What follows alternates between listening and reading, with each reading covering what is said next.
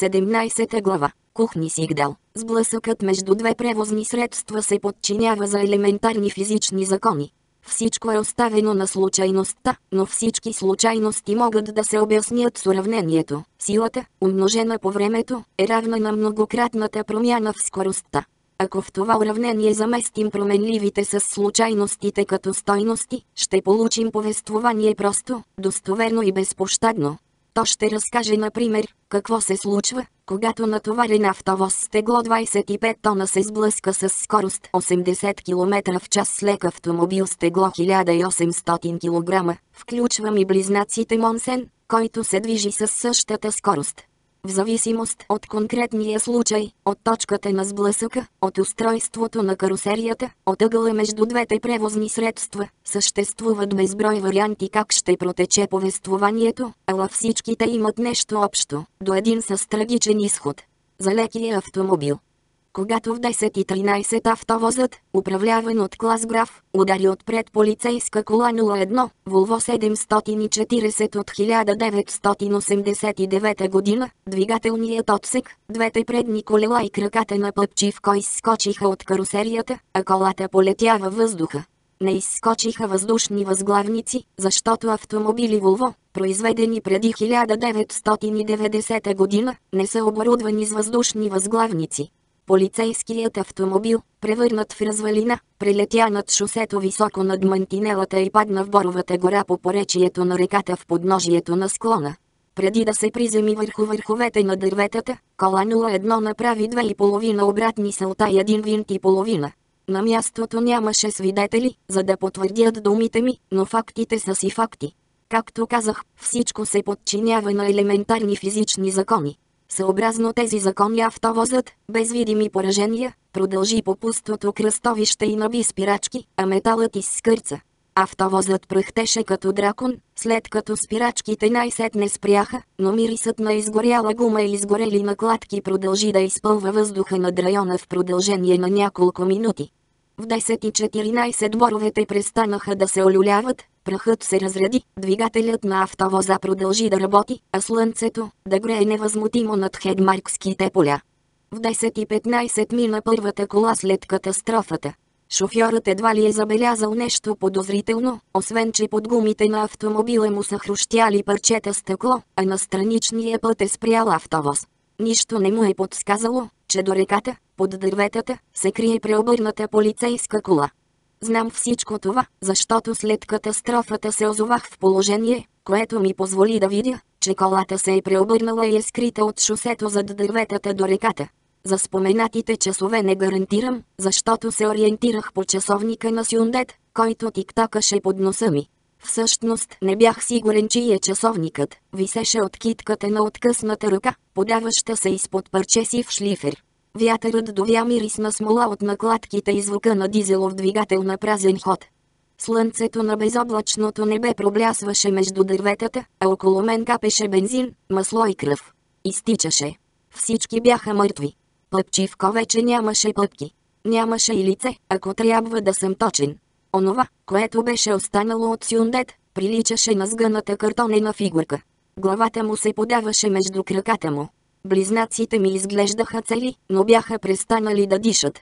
Дължах живота си на семейство Монсен, чиято предразположеност към наедряване ги бе превърнала в перфектните въздушни възглавници. Ала телата, която ми бяха спасили живота, сега щяха да ми го отнемат. Цялата карусерия бе смачкана и висях от седалката надолу с главата. Едната ми ръка беше свободна, но не можех да дишам, камо ли да помръдна, приклещен здраво между двамата полицай. Сетивата ми продължаваха да функционират безотказно. За мое огромно съжаление, защото виждах как бензинът извира, потича в крачула на панталона ми, по кожата ми излиза през ръката на ризата ми. Все още чувах как автовозът на пътя пръхти, кашля и заеква, докато чака. Отлично осъзнавах, че клас граф стои в автовоза и обмисля внимателно положението. Проследяващото му устройство не отчиташе движение. Алагра вероятно искаше да слезе и лично да се увери, че всички са мъртви. От друга страна, не беше никак лесна работа да слезеш по стръмнината. Още по-трудно, да се изкачиш обратно. Граф едва ли очакваше някой да оцелее след такава жестока катастрофа. но щеше да спи по-спокойно, след като се увери с собствените си очи, ако не остане и капка съмнение. Карай нататък, помолих се на ум. Продължи си пътя. За мой ужас все още се намирах в пълно съзнание и ясно си представях какво ще се случи с мен, когато граф ме намери, потопен в бензин. Карай, карай нататък. Дизеловият двигател на автовоза бръмчеше, все едно водеше разговор с себе си. Случилото се ми се изясни до последната подробност. Граф не е посетил Синдрео, за да го попита къде да ме намери. Проследяващото му устройство му е показвало местонахождението ми с точност до метри. Граф е очистило поради простата причина, че селянинът е видял и него, и автомобила му. Ала докато граф се е качвал по пътеката към вилата, аз съм отишъл в клозета и след като не е успял да ме намери във вилата, пак е проверил какво показва устройството му. С огромна изненада е установил, че сигналът се е изгубил. Станало е, защото по това време косата ми е била потопена в мръсотия, а както вече знам, предавателите на хоте не излъчват достатъчно силни сигнали, та да проникват през нечистоти. Излиза, че аз, идиотът, съм извадил повече късмет, отколкото заслужавам. Граф е насъскал кучето по следите ми е седнал да чака, защото сигналът не се е възобновил. Мръсотията, засъхнала по косата ми, е продължила да блокира сигналите, докато съм бил в хамбара, при на Синдрео и съм избягал с трактора. Едва през нощта устройството на граф е получило сигнал от мен. В онзи момент съм се намирал върху носилка и са отмивали мръсотията от косата ми с душ. Граф се е метнал в колата и е пристигнал в болницата в ранни зори. Един бог знае как е успял да открадне автовоза, но не е имал проблеми да ме намери, мен, малоумния наивник Браун, който буквално си е просил да го хванат. Пръстите на откъснатата ръка все още държаха козметичната чанта. Часовникът на китката тиктакаше. 10 и 16. След минута щях да съм изпаднал в безсъзнание. След две, да се задуша. Решавай, граф. Той така и направи. Чух как автовозът се оригна. Оборотите намаляха. Явно граф изгаси двигателя и сега щеше да дойде при мен. Тихо ръмжене. Хрущене на чакъл под гуми, носещи 25 тона. Ръмженето се усили. И продължи да се усилва. После отслабна. Изгуби се в далечината и заглъхна съвсем. Затворих очи и благодарих на съдбата, задето няма да изгоря жив, а ще умра от недостиг на кислород. Защото това далеч не е най-ужасната смърт. Мозъкът изключва постепенно, приспива ти се, главата ти се замайва, спираш да мислиш и проблемите ти изчезват. Горе-долу същото като да гаврътнеш няколко силни питиета. Да, помислих си, мога да преживея такава смърт. Направо ме досмеша. Значи цял живот се бях мъчил да бъда пълната противоположност на баща ми, но все пак щях да пукна в катастрофирал автомобил. Дали наистина бях живял по-различно от него? Когато пораснах и проклетият пияница вече не можеше да ме бие, започнах да го бия аз. По начина, по който той биеше мама, без да оставя видими следи. Например, учтиво отклоних предложението му да ме научи да шофирам. Заявих, че нямам желание да вземам книжка. Свалих противната, разглезена дъщеря на посланика, която татко караше всеки ден до училище, само за да я доведа на вечеря у дома и да го унижа. Разкаях се за стореното, защото между основното ястие и десерта заварих мама да плаче в кухнята. Записах се да уча в лондонско училище, което татко бе нарекал пред мен шибано социалистическо заведение за обществени паразити. Но той не го взе твърде при сърце, както се надявах. Проклетата година успя дори да се усмихне уж с гордост, когато му съобщих къде съм решил да уча. Същата есен ме попита дали може с мама да ми дойдат на гости в кампуса. Разобедих ги, като изтъкнах аргумента не искам съучениците ми да разбират, че баща ми не е виж дипломат, а най-обикновен шофьор. Сякаш успях да улуча слабото му място. Не че той беше слаб, по-скоро знаех къде да ударя, за да го заболи.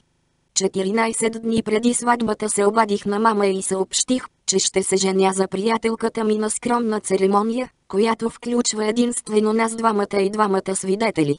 Поканих майка ми, но я предупредих, че не искам татко да присъства. Тя се ядоса и отказа да дойде без него.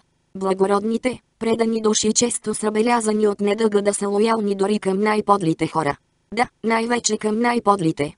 С Диана имахме намерението да посетим родителите ми след края на семестъра, но три седмици преди да заминем от Лондон ми съобщиха за злополуката. Връщали се от вилата, поясни полицаят по пръщящата линия. Било при вечер, валял дъжд, колата се движила с несъобразено висока скорост. Движението по пътя било временно отбито заради ремонт на магистралата. Имало ново, вероятно малко нелогично отклонение, но все пак маркирано с пътен знак. Наскоро положеният асфалт поглъщал светлината, разбира се. Наблизо се намирала паркирана строителна машина. Прекъснах полицая и го помолих да вземат проба за алкохол от баща ми. Само за да потвърдят онова, което вече знаех със сигурност. Той е убил мама. Същата вечер, седнал сам в кръчма близо до метростанцията Бейранскорт, за пръв път пих алкохол. И плаках пред хора. А, докато до вонящия писуар плисках с вода обляното си в сълзи лице, се вглеждах в спуканото огледало, видях безизразното пиянско лице на баща ми. Мигом си спомних бдителния спокойен огън в очите му, когато събори фигурите върху шахматната дъска, а бялата царица се завъртява въздуха, две и половина обратни сълта, преди да се озове върху пода. После ме удари. За пръв единствен път в живота ми, но все пак ме удари. С длан, по духото. И тогава в очите му видях онова, което мама наричаше болестта. Зад очите му се криеше отблъскващо, ловко и кръвожадно чудовище. И въпреки това той ми беше баща, моя плът и кръв. Кръв. Нещо, заровено в дълбините на душата ми, нещо, което дълго лежа, затиснато под пластове от отрицание, изплува на повърхността. Размит спомен за пробягала мисъл. Отказваше да стои скрита. Придоби ясна форма и болезнено отчетлива вербализация. Превърна се в истина. До сега се бях мъчил да държа тази мисъл на разстояние, като непрекъснато се самозалъгвах. Защото не страхът да не ме изместят бе причината да не искам деца, а страхът от болестта. Страхът, че аз, синът, съм е наследил и тя се спотайва зад очите ми. Излъгах всички. На Лоте казах, че не съм искал Диана да роди детето заради вродения му недък, синдром, дефект в хромозомите. А в действителност дефект имах аз. Всичко се разтече. До момента животът ми приличаше на мъртвешко жилище, но сега мозъкът ми нахвърли кълъфите върху мебелите, затвори вратите, приготви се да блокира потока. Капеше, течеше, швъртеше от очите ми, по челото, по косата. Да се задушиш между две човешки тела, надути като балон. Сетих се за лоте. И там, на прага, получих проблясък. Видях светлина. Видях. Диана? Какво прави тук тази предателка? Балони. Свободната ми ръка се протегна към козметичната чанта. Изтръпналите ми пръсти отстраниха пръстите на сюндет от дръжката и отвориха чантата. Бензинът от мен капеше вътре, докато преравях съдържанието й. Издърпах риза, чифт чорапи, бельо и несесер. Само толкова. Отворих несесера с свободната си ръка и изсипах принадлежностите върху тавана на колата. Паста за зъби, машинка за бръснене, лейкопласт, шампуан, прозрачен найлонов плик, който Сюндет без съмнение е използвал по време на проверката по летищата, вазелин. Ето, ножица, остра, малка, леко извита на върха, някои хора явно имат причини да предпочитат такива ножички вместо модерните нокторезачки. Плъзнах ръка по единия от близнаците, опипах корема, после гърдите му и се опитах да намеря ципили копчета. Чувствителността на пръстите ми се изгуби, те не се подчиняваха на заповедите ми и престанаха да изпращат информация до мозъка ми. Хванах ножицата и я забих в корема на. Е, да кажем, че в корема на Ендриде. Изкуствената материя изпръщя с облегчение, цепна се и оголи изпъкнало шкембе, натъпкано в светло-синя полицейска риза. Бързо срязах ризата, изпод нея напираха сланини, покрити с космата синьо-бяла кожа. Стигнах до онази част, от която ме побиваха тръпки. Ала мисълта за евентуалната награда, възможността да живея и да дишам, измести всички останали. Замахнах силно с ножицата и я забих в корема точно над пъпа. Издърпах я обратно. Не се случи нищо. Странно. В тялото му за дупка, но оттам не потече нищо, което би освободило място и съответно да отслаби натиска върху мен. Балонът си остана надут до пръсване. Отново го прободох. Втора дупка. Втори сух кладенец. Забивах ножицата като побеснял. Храс, храс. Нищо. От какво са направени тези шибани близнаци? Само от мазнини ли? Нима тластините им щяха да убият и мен? По шосето мина кола. Опитах се да извикам, но не ми стигна въздух. Напрягайки последните си сили, забих ножицата в корема му, но този път не я издърпах. Нямах сила. След малко започнах да я местя. Разтворих я и пак я свих. Натисках я все по-надолу. Оказа се изненадващо лесно. Вътре се случи нещо. От дупката в корема потече струя кръв и се изгуби под дрехите. После се показа върху брадатия му врат, продължи по брадичката, по устните и изчезна в ноздрата му. Продължих да кълцам. Трескаво, ожесточено. Установих, че човекът е много уязвимо същество, защото тялото се разпори зейна. Заприлича ми на едно предаване, в което разчленяваха китове. И то само с някаква си козметична ножичка. Спрях едва когато разрезът на корема стигна от таза до ребрата. Очаквах да се изсипят огромни количества кръв и вътрешности, но това не стана. Ръката ми изтръпна изведнъж, изпуснах ножицата и получих поредното посещение на стария ми познайник, наречен тунелно зрение. През отвора виждах тавана на колата с сивата пицерия с шахматна шарка. Счупените фигури лежаха разпръснати около мен. Предадох се.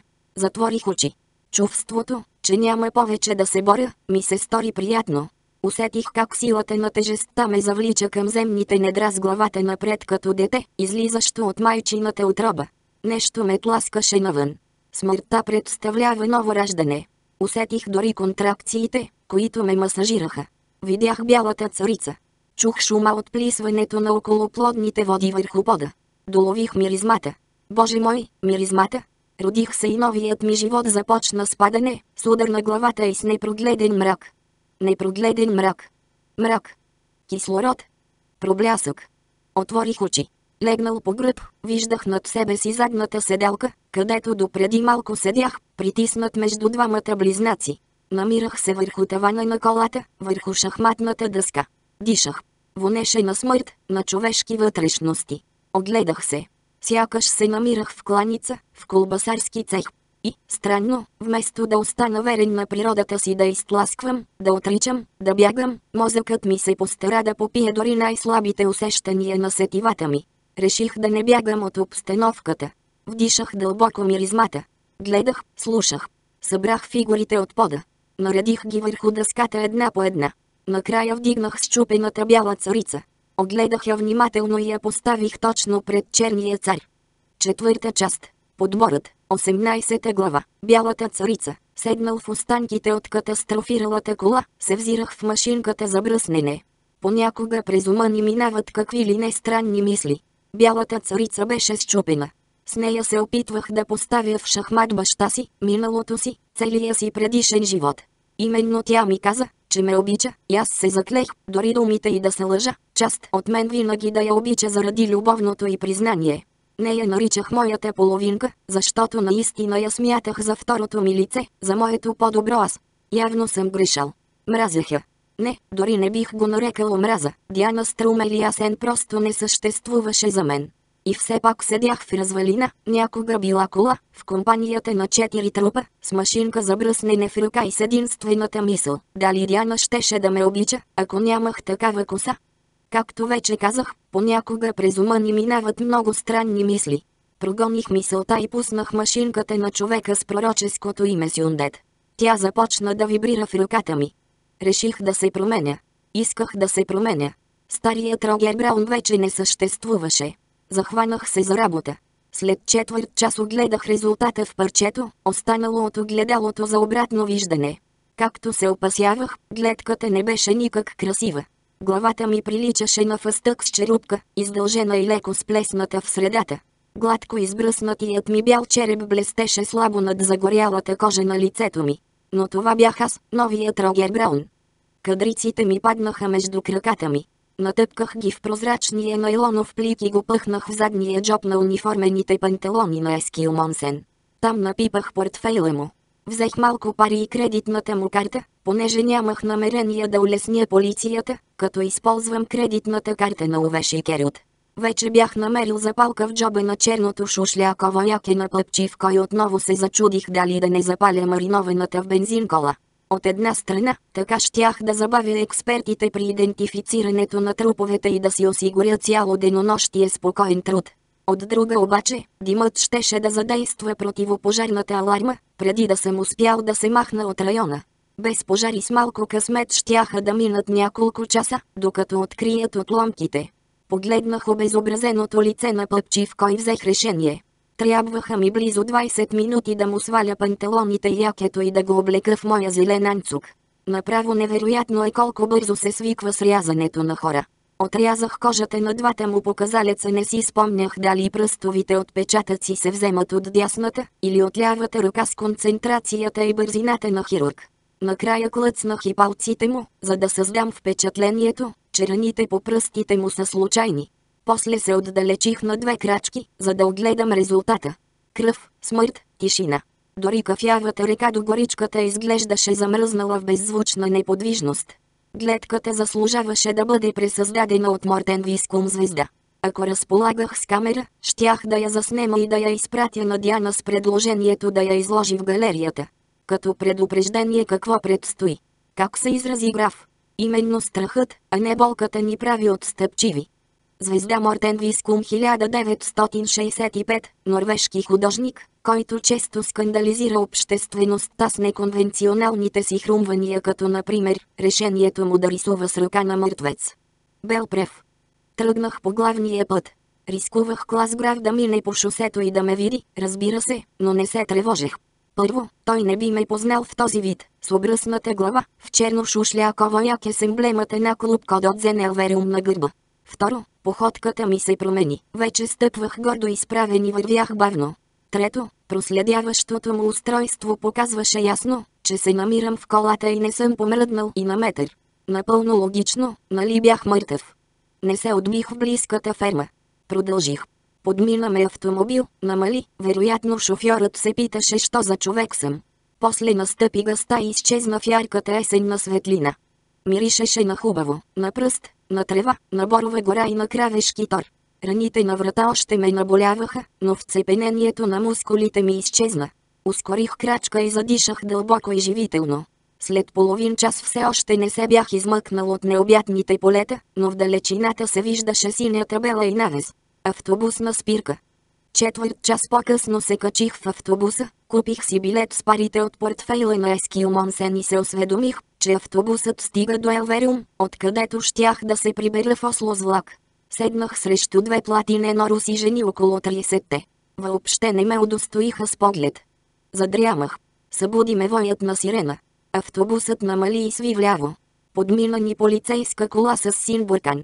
Сигурно патрулка 02, помислих си. Забелязах как едната блондинка ме погледна и побърза инстинктивно да отмести очи. Намекът колко съм отблъскващ стана твърде явен. Не успя. Усмихнах се криво и погледнах през прозореца. Слънцето огряваше родния град на стария Рогер Браун, когато новият слезе от влака в 15.10, а в зиналата паст на обезобразените скулптури на тигри пред централната гара на Осло духаше ледено студен вятър. Пресякох площада и продължих към улица Шипер. Наркодилерите и проститутките по Толбио ме погледнаха, ала не ме сподириха с обичайните си предложения, както правеха с стария Рогер Браун. Спрях пред входа на хотел Еон и вдигнах очи към фасадата с белирани от олющена мазилка. Под единия прозорец висеше плакат, който обещаваше стая за 400 крони на нощ. Влязох и се отправих към рецепцията или рецепцията, както пишеше на табелата над главата на мъжа зад гишето. Да, каза той вместо обичайното добре дошли. Бях свикнал с други обноски в хотелите, които старият Рогер Браун посещаваше. Лицето на рецепциониста лъщеше от пот. Сигурно работеше здраво или пиеше много кафе. Или просто беше тревожна натура. Неспокойният поглед, сновящ напред-назад, говореше в полза на последното ми предположение. Имате ли единични стаи? Попитах. Да. За колко време? За едно денонощие. За цяло денонощие ли? За пръв път идвах в хотелеон, но бях минавал с колата покрай него и предполагах, че предлагат стаи за няколко часа на професионални жрици на любовта. Тоест, жени, които поради недостиг на физическа красота или ум не бяха се умели да използват телата си, за да се здобият с къща, проектирана от Овебанк и с собствена галерия в квартал Фрогнер. Кимнах. 400, изстреля мъжът. При условие, че платите предварително. Говореше с шведски акцент, предпочитан по една или друга причина от вокалистите на естрадни групи и от проповедниците. Хвърлих пред него комбинираната дебитна и кредитна карта на Ескил Монсен. От опит знам, че служителите изобщо не ги е грижа дали подписът съвпада, но за всеки случай във влака се научих да го имитирам. Проблемът се състоеше в снимката. Дори приглушеното осветление, при което е правена снимката, не можеше да скрие от рецепциониста, че между бузестия тип с дълга къдрава коса и черна брада на снимката и мен, с колест избръсната глава, няма никаква прилика. Мъжът огледа внимателно картата. Вие не сте човекът от снимката, отсече, без да вдига очи към мен. Почаках да ме погледне. Рак, казах аз. Какво? Химиотерапия. Той примига три пъти. Три курса на лечение. Адамовата му ябълка подскочи, когато преглътна. Забелязах колебанието му. Хайде де! Налагаше се веднага да легна, защото изпитвах ужасни болки във врата. Приковах очи в него, но той отмести поглед. Съжалявам, вдигна картата срещу мен. Нямам желание да си навличам неприятности. Намирам се под наблюдение. Имате ли пари в брой? Поклатих отрицателно глава. След като си купих билет за влака, ми останаха само банкнота от 200 крони и монета от 10.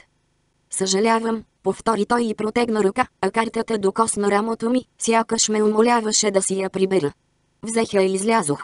Не виждах смисъл да се пробвам в други хотели.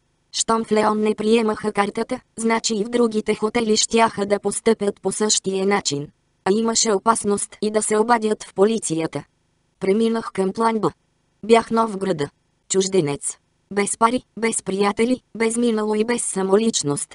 Фасадите, улиците и хората по тях ми изглеждаха по-различни, отколкото през очите на Рогер Браун. Пред слънцето се изпречи тънък облачен слой и температурата се понижи с още няколко градуса. На централната гара попитах с кой автобус се стига до Тунсехаген. Качих се. Незнайно защо шофьорът ми говореше на английски. От спирката в Тунсехаген до къщата на Уве има само няколко бира, но докато стигна до там, вече зазнех от студ. Пообиколих квартала, за да се уверя, че наблизо няма полицай. Бързо се втурнах към вратата и отключих. Вътре беше топло. Отопление с регулируем термостат. Въведох паролата Наташа, за да деактивирам алармата, и влязох в стаята с функции на всекидневна изпълня. Миришеше като при последното ми посещение, на неизмити съдове, непрано спално бельо, оръжейно масло и сяра. Уве лежеше в леглото, както го оставих предишния ден. От тогава сякаш беше изминала седмица. Намерих дистанционното, легнах в леглото до Уве и включих телевизора. Прегледах информацията от телетекста. Не пишеше нищо за изчезнали патрулки или за мъртви полицаи. Полицаите от участъка в Елвериум със сигурност очакваха големи неприятности и отдавна бяха започнали акция по издирването на служебния автомобил, но явно предпочитаха да не избързват с оповестяването на информацията, защото се надяваха всичко да се дължи на съвсем банално недоразумение. Рано или късно щяха да открият колата. А колко ли време щеше да им трябва, за да установят, че трупът в зеления анцук с заличени резки по върховете на пръстите не е арестантът Овеши Керют. Минимум едно денонощие. Максимум две. Някои неща просто не ми бяха известни. Не че новият Рогер Браун знаеше какви са процедурите в полицията. Той просто осъзнаваше, че е необходимо да вземе бързи решения, базирани на информация от несигурни източници, да предприеме действия, макар и рисковани, вместо да губи време в колебания, докато стане прекалено късно, да допусне страха, за да се мотивира, но да не му се предаде напълно, да не му позволи да го парализира. Затова затворих очи и заспах. Събудих се. Часовникът на телетекста показваше 20.03 а отдолу беше публикувано съобщение за четирима души, трима от които полицай, загинали при пътна злополука близо до Елвериум. Сутринта бил подаден сигнал за изчезнала полицейска кола и следобед намерили останките и в горичка до река Трекелва. Обявен за изчезнал бил петият пътник в колата, също полицай. Предполагаха, че е изхвъркнал от колата и е паднал в реката. В момента провеждали акция по издирване на тялото. На две мили от мястото на злополуката намерили откраднат автовоз с емблемата кухни Сигдал. Полицията умоляваше зрителите, които разполагат с данни за шофьора, да позванят на горещата телефонна линия. След като разберат, че арестантът Шикер от не е сред загиналите, рано или късно ще посетят дома му. Налагаше се да си намеря подслон другаде. Поех си дъх. Наведох се над трупа на Уве, взех телефона от нощното шкафче и набрах единствения номер, който знаех наизуст. Тя вдигна на третото прозвъняване. Вместо обичайното, смутено, но нежно здрасти, лотеотрон едва доловимо да. Затворих, без да се обадя. Исках да разбера единствено дали си е вкъщи. Надявах се и вечерта да я заваря от тях. Изгасих телевизора и станах. След две минутно търсене намерих два пистолета. Единият в шкафчето в банята, другия, напъхан зад телевизора. Спрях се на малкия черен пистолет зад телевизора. От кухненския долап извадих две коти, едната с бойни патрони, другата с халосни. Напълних пистолета с бойни патрони, заредих го и спуснах пред пазителя. Затъкнах оръжието на кръста си, както видях да прави клас граф. Влязох в банята и оставих другия пистолет на мястото му. Затворих вратичката на шкафчето и се огледах в огледалото. Лице с филни черти, ясни линии, брутално оголена глава, ярък, почти трескав блясък на очите, устните едновременно отпуснати и категорични, мълчаливи и красноречиви. Където и да усъмнех утре сутринта, на съвестта ми щеше да тежи убийство. Предумишлено убийство. 19 глава. Предумишлено убийство. Намираш се на твоята улица. Спотайваш се в мрака под дърветата и гледаш към собствения си дом, в осветените прозорци, а завесите помръдват леко. Сигурно зад тях е женати. Един от съседите излиза на вечерна разходка с английския си сетер. Минава покрай теб, заглежда се, но вижда непознат по улица, където всички се познават. Мъжът те поглежда с недоверие, а сетерът изръмжава тихо. И двамата подушват омразата ти към кучета защото животните, също като хората, са сплотени в борбата срещу натрапници, срещу неканени в квартала, където са се барикадирали, издигнати високо над градската суматоха и хаотичната смесица от интереси и ангажименти. Тук, горе, обитателите искат нещата да продължат по-старому, защото статуквото ги удовлетворява, всичко върви чудесно и те не желаят картите да се раздадат повторно. Не, нека остави масата и поповете в ръцете на сегашните им собственици. Несигурността се отразява гибелно на инвестициите, строго определените рамкови условия гарантират добра продуктивност, а тя, от своя страна, е в служба на общността. Трябва да се произведе нещо, преди да се пристъпи към разпределение на благата. Странно, но най-консервативният в политическите си пристрастия човек, когато съм срещал някога, е шофьор, наед от хора с четирикратно по-високи доходи от неговите и с навика да се обръщат към него с високомерно снисхождение, каквото само педантична вежливост би могла да изрази. Веднъж татко ме предупреди да не се мяркам повече в къщата му, ако стана социалист. Същото въжало и за мама. Тогава не беше съвсем трезвен, но това само подсили убеждението ми, че наистина смята така. Според него кастите в Индия са много мъдро измислени, а по Божията воля се раждаме в определено съсловие и е наш дълг да прекараме окаяния си живот именно там. Или както клисарят отговорил, когато свещеникът си ги смюн предложил да си говорят нати, клисарят си е клисар, свещеникът – свещеник. Моят бунт, бунтът на шофьорския син, се прояви в полученото образование, в брака с дъщеря на богаташ, в костюмите от веригата бутици Фернер Якобсен, в къщата на спирка Воксен Колен. Това не успя да сломи татко. Той имаше дори безочието да ми прости и да се престори на горд. На погребението, докато хлипах като дете, знаех, че не плача от скръп по покойната ми майка, а от гняв срещу баща ми.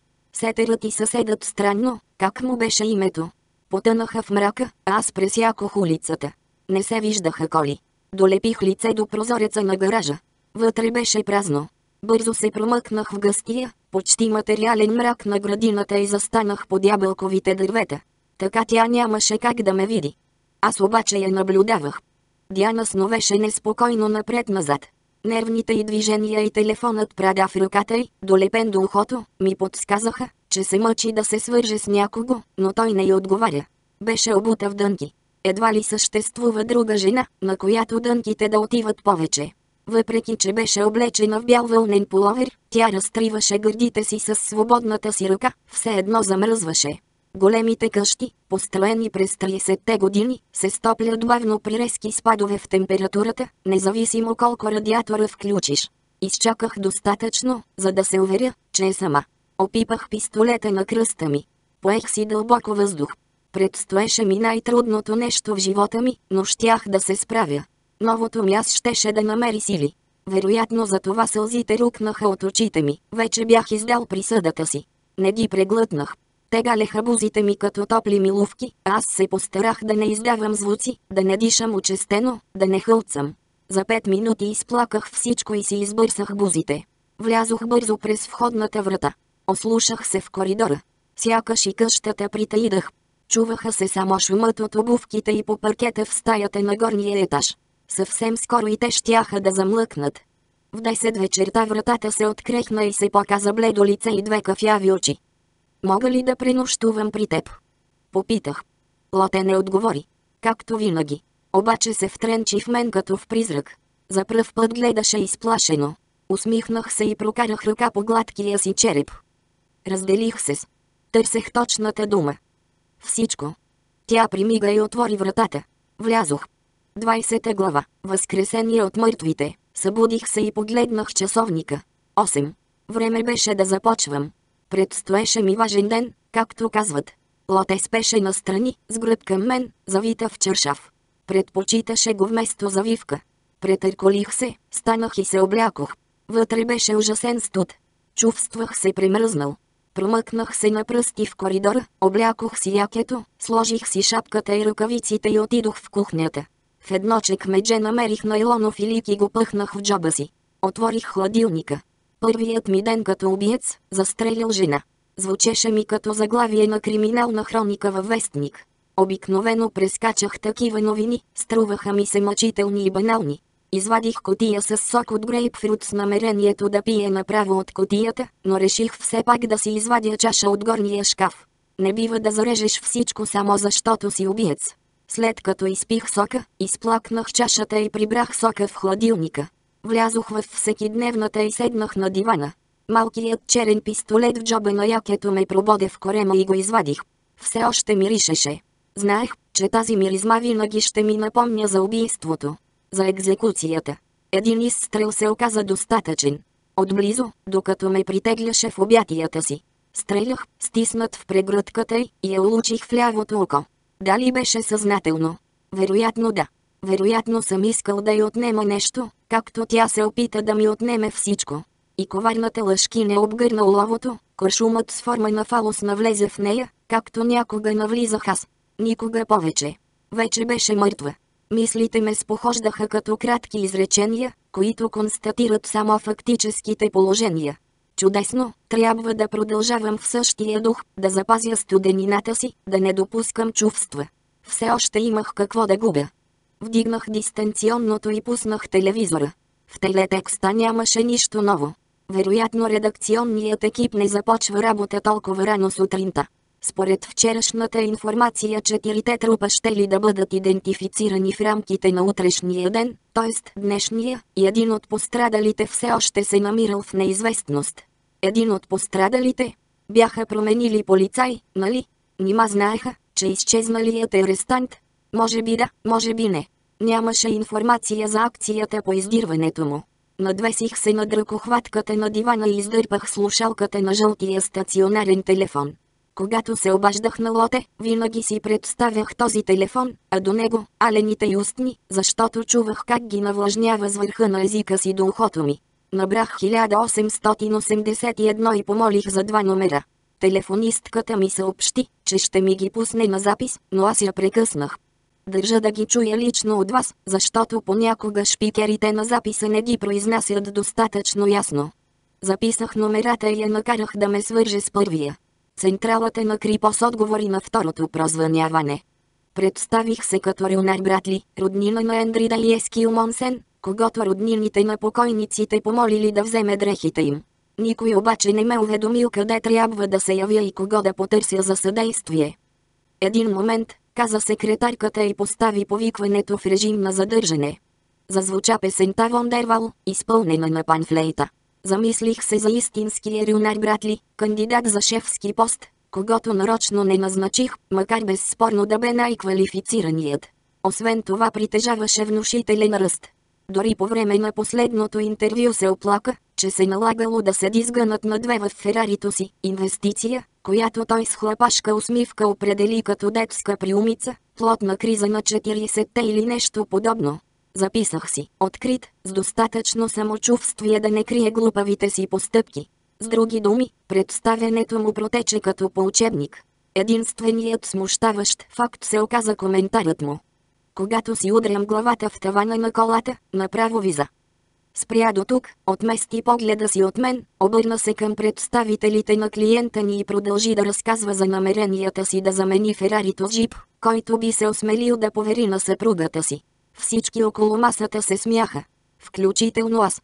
Само леко потреперване по лицето ми издаде, че съм се досетил за продължението на започнатото от него изречение. Направо ви завиждам, задето сте толкова нисък. Незабавно го зачеркнах от списъка на потенциалните избраници. За жалост не притежаваше интересни качества. Телата се намират в Института по съдебна медицина, обади се гласът на секретарката. В сградата на държавната болница в Осло. Така ли? Престорих се на очуден аз, без да преигравам. И защо? Такава е рутинната процедура, когато има съмнение за криминално деяние. Огледът на местопрестъплението сочи, че колата е била блъсната от автовоза. Разбирам. Явно за това роднините на починалите ме помолиха за помощ. Аз живея в Осло. Жената не отговори. Представих си как върти очи с досада и барабани по масата с дългите си изрядно лакирани ногти. Не беше изключено и да греша, разбира се. Да работиш като ловец на глави не означава непременно, че познаваш отлично човешката природа и умееш да се преживяваш емоциите на другите. Ако се стремиш към върховете в бранша, това по-скоро би ти попречило да се издигнеш. Бихте ли предали на човека, който отговаря за телата, че пътувам към института? Попитах. Името ми е Рионар Братли. Долових колебанието й. Това задължение не влиза в длъжностната и характеристика. В обществените служби длъжностните характеристики се съставят само формално, вярвайте ми, непрекъснато чета такива глупости. Искам само да помогна на близките и за това държа някой да ме посрещне и да приключим възможно най-бързо, поясних. Ще видя какво мога да направя за вас, отвърна тя. Затворих и набрах втория номер. Отговори ми на петото прозвъняване. Да. Обади се нетърпелив, раздразнен мъжки глас. Опитах се да разбера по шумовете зад него къде се намира, в моята къща или в апартамента си. Бал, казах и затворих. Така предупредих клас граф. Нямах представа какво ще предприеме, но бях сигурен, че ще включи устройството си и ще провери къде е призракът. Застанаха на прага на спалнята. В полумрака видях очертанията на тялото й, завито в чершав. Успях да устоя на внезапния импулс да се съблека, да се мушна под чершафите и да се сгуша до нея. Изпитах странното усещане, че всичко случило се не беше свързано с Диана, а с мен. Тихо затворих вратата на спалнята и излязох. Както и на идване, по стълбището не срещнах нито един съсед, когато да поздравя с добро утро или добър вечер. И на улицата никой не отговори на вежливото ми кимване, никой не ме погледна, никой не показа, че забелязва моето съществуване. Осъзнах как всъщност се чувствам, все едно ме няма. Време беше да се появя отново. Държавната болница се намира на един от многочислените хълмове в Осло, извисяващ се над града. Преди да я построят, на мястото имаше дом за душевно болни. После промениха названието в здравно заведение за луди. След това го нарекоха приют, а накрая психиатрична клиника. Все пак хората осъзнаха, че независимо как ще го именуват, все ще означава лудница, най-общо казано. Лично аз не одобрявам тази игра на думи, но е възможно, разбира се, според факторите, решаващи как да се наричат такива болници, хората по принцип да представляват пасми на идиоти, изтъкани от предразсъдъци, а това да налага да бъдат заблуждавани непрекъснато. Не е изключено да се прави, ала с облегчение чух как жената зад стъкленото гише каза. За да идентифицирате труповете, ще трябва да слезете в моргата, брат ли. Очевидно няма проблем да наречеш някого труп в моргата. Никой не подчертава колко възмутително е да използваш названието труп, защото мъртвецът притежава и други качества освен смъртта. Никой не протестира, задето определението труп принизява човека до парче месо, чието сърцето е спряло да бие. И какво от това? Или вероятно причината никой да не протестира се дължи на факта, че труповете не могат да си извоюват малцинствен статус, нали винаги ще бъдат мнозинство. Слезте по онези стълби, посочи тя. Ще се обадя да предупредя за идването ви. Послушаха. Стъпките ми отекнаха между белите празни стени. Не се чуваше нищо друго. В дъното на тесния бял коридор на долния етаж стоеше мъж в зелената униформа на болничния персонал. Само единият му крак се намираше пред отворената врата. Заприлича ми на хирург, но прекалено небрежната му стойка и мустакът ми подсказаха, че е доста по-долу в иерархията. Брат ли? Извика въпросително той. Силният му глас сякаш съзнателно оскверни покоя на спящите мъртъвци. Ехото се разнесе из целия коридор. Да, отвърнах и забързах към него, за да не последва втори вик. Той ме пусна да вляза преди него в нещо като дрешник. Приближи се до един шкаф и го отвори. От Крипос се обадиха да ми съобщят, че ще дойдете да вземете вещите на братята Монсен, продължи той с мощния си глас. Кимнах. Сърцето ми биеше по-силно, отколкото се надявах, но не и толкова силно, колкото се опасявах.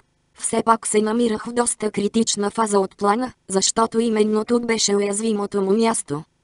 Какъв им се падате? Трети братовчет, непринудено обясних аз. Опечелените ме помолиха да взема дрехите на покойниците. Само дрехите, без ценностите. Предварително се бях спрял на думата опечелените.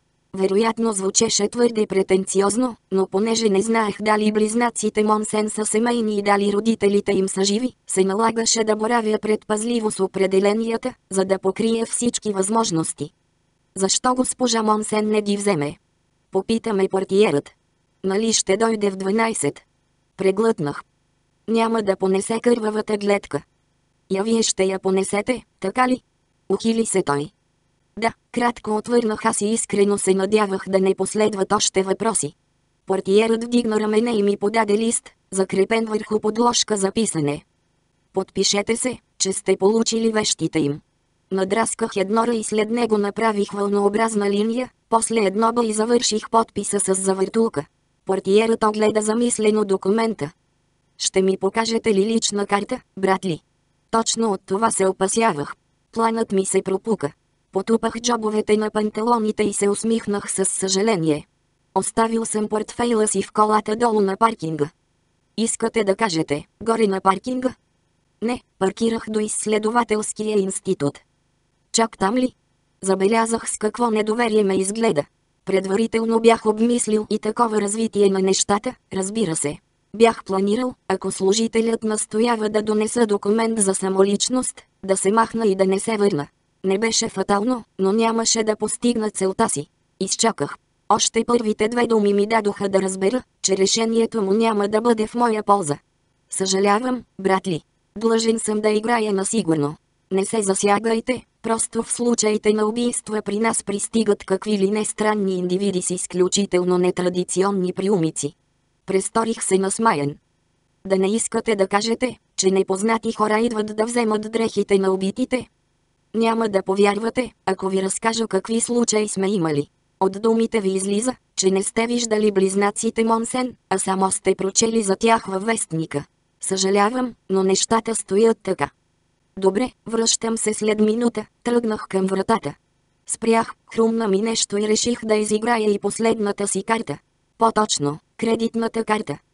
Докато не съм забравил, искам да ви дам нещо, бръкнах в задния си джоб. При последната ни среща Ендри да ми остави кредитната си карта. Моля ви да я предадете на майка му.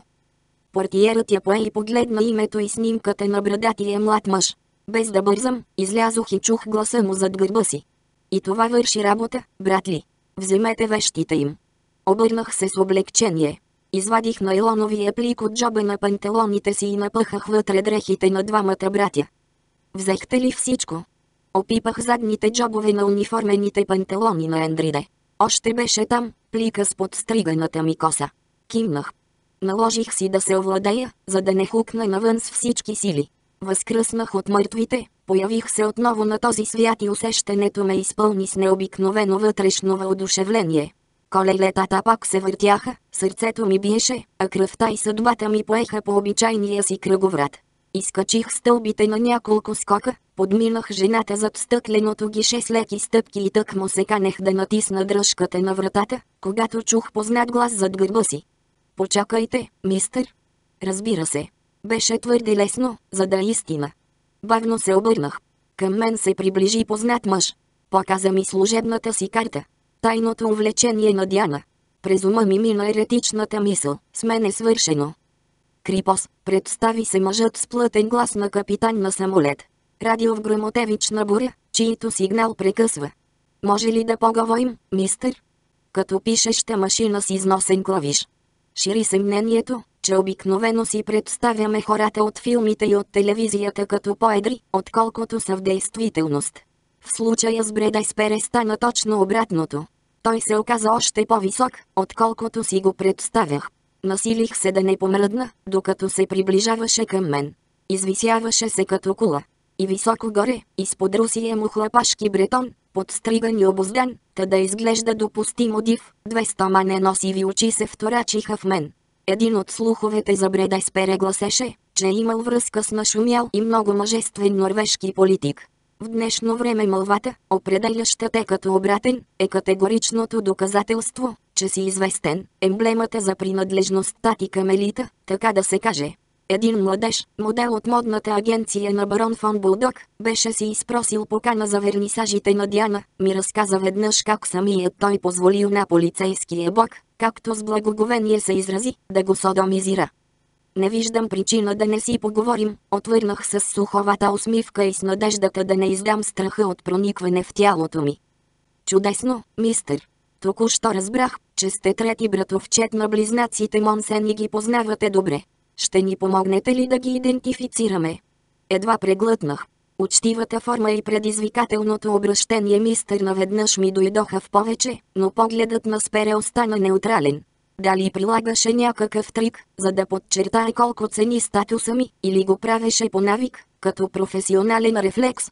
Чух как гласът ми заекна на въпроса да ги идентифицираме. Все едно думата ми беше съвършено непозната. Майка им ще пристигне след няколко часа, поясни Спере.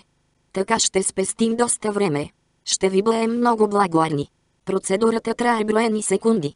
Не изпитвах никакво желание да го правя. Цялото ми тяло се съпротивляваше и мозъкът ми пищеше незабавно да откажа и да се махна от тук.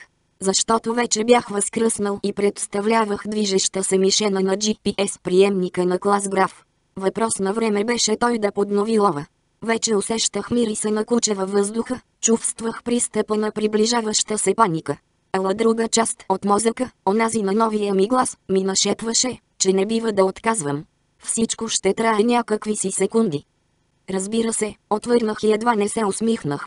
Сетих се, че усмивката ми би се разтълкувала като неуместна реакция при положение, че ми предстои да идентифицирам труповете на двама мои роднини.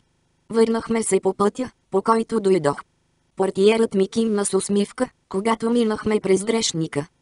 Предупреждавам ви, че покойниците са обезобразени, отбеляза Спере и отвори тежка метална врата. Влязохме в моргата. Потръпнах. Всички тук ми напомняше на вътрешността на хладилник. Бели стени, тавани под, няколко градуса над нулата и месо си стекал срок на годност. Четирите трупа стояха наредени върху метални кошетки. Краката им се подаваха изпод бели чершафи и установих, че сцените в филмите отговарят на действителността. На големите пръсти на краката им висяха окачени метални табелки. Готов ли сте? Попита Спере. Отмахна два чершафа бързо и елегантно като фокусник.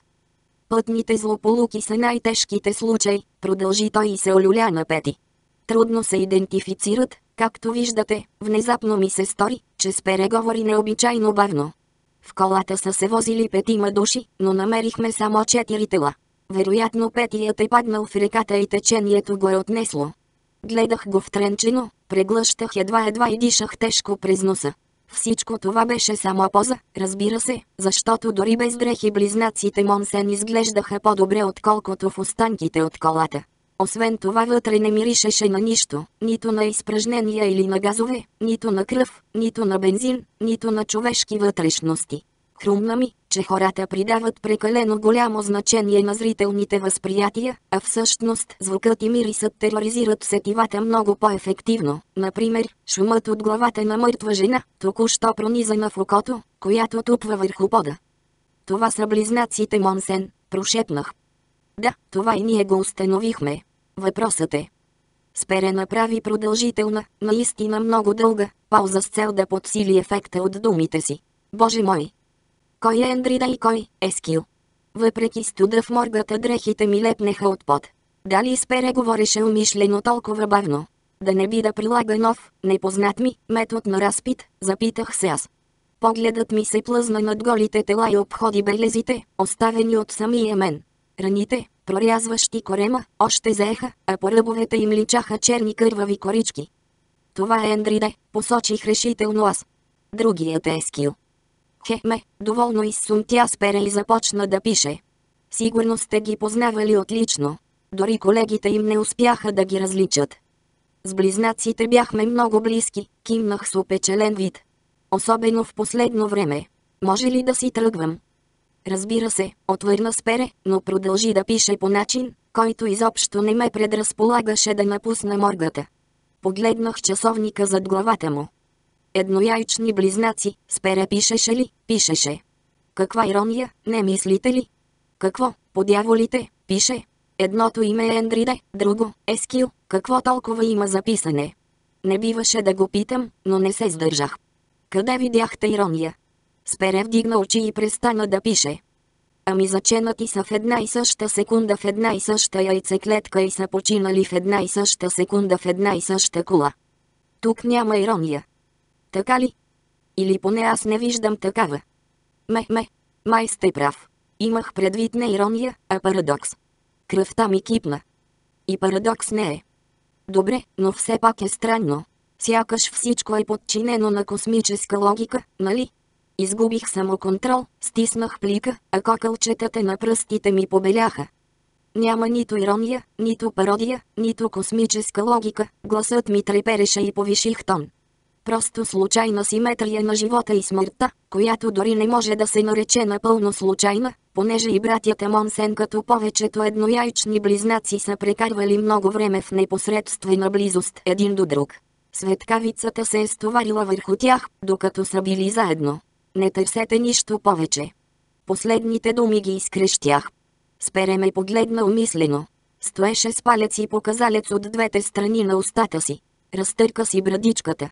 Познавах този поглед. Спере беше един от малцината. Притежаваше поглед на разпитващ, поглед, който умее да разобличава лъжата. Брат ли, какво ви измъчва? Съжалявам, усмихнах се унило и тутък си осъзнах, че се налага да призная някаква истина, защото ме гледаше жив детектор на лъжата. С нощи се скарахме с жена ми, а днес се случи това нещастие. Не съм на себе си. Извинете ме. Ще си тръгвам. Обърнах се и се отправих към вратата. Спере каза нещо, вероятно поздрав за довиждане, но не чух какво заради трясъка на металната врата зад гърба ми. Басовото и дрънчене отекна в коридора. 21 глава. Покана. От спирката пред държавната болница се качих на трамвай и платих на кондуктора в брой с пояснението, че пътувам до центъра. Той се усмихна малко пренебрежително, докато ми връщаше рестото. Явно цената на билета е една и съща, независимо след колко спирки ще сляза. Аз, разбира се, и преди съм се возил на трамвай, като малък, но не помнех добре какъв е редът. Слизай от задната врата, дръж си билета в ръката, за да го покажеш на контролера, натисни копчето за стоп по-рано, а не в последния момент, не разсейвай водача. Много неща се бяха променили. Шумът от релсите вече не е толкова оглушителен за сметка на рекламните пана по прозорците, обърнати с лицата навън. Пътниците по седелките обаче изглеждаха вглъбени във вътрешния си свят. В центъра слязох от трамвая и се качих на автобус, който ме понесе към североизточната част на града. Обясниха ми, че имам право да пътувам с билета от трамвая. Прекрасно. Платих съвсем нищожна цена, за да се придвижвам из града, а до сега дори не бях подозирал, че това е възможно. Местоположението ми непрекъснато се променяше. Представлявах мигаща точица върху GPS джаджата на клас граф. Сякаш усещах объркването му. Какво, по дяволите, става, да не би да принасят някъде трупа? Слязох от автобуса в Орвол и поех нагоре към Тунсехаген. Можех да сляза и на по-близка спирка до апартамента на Уве, но всичко, което правех, имаше определен замисъл.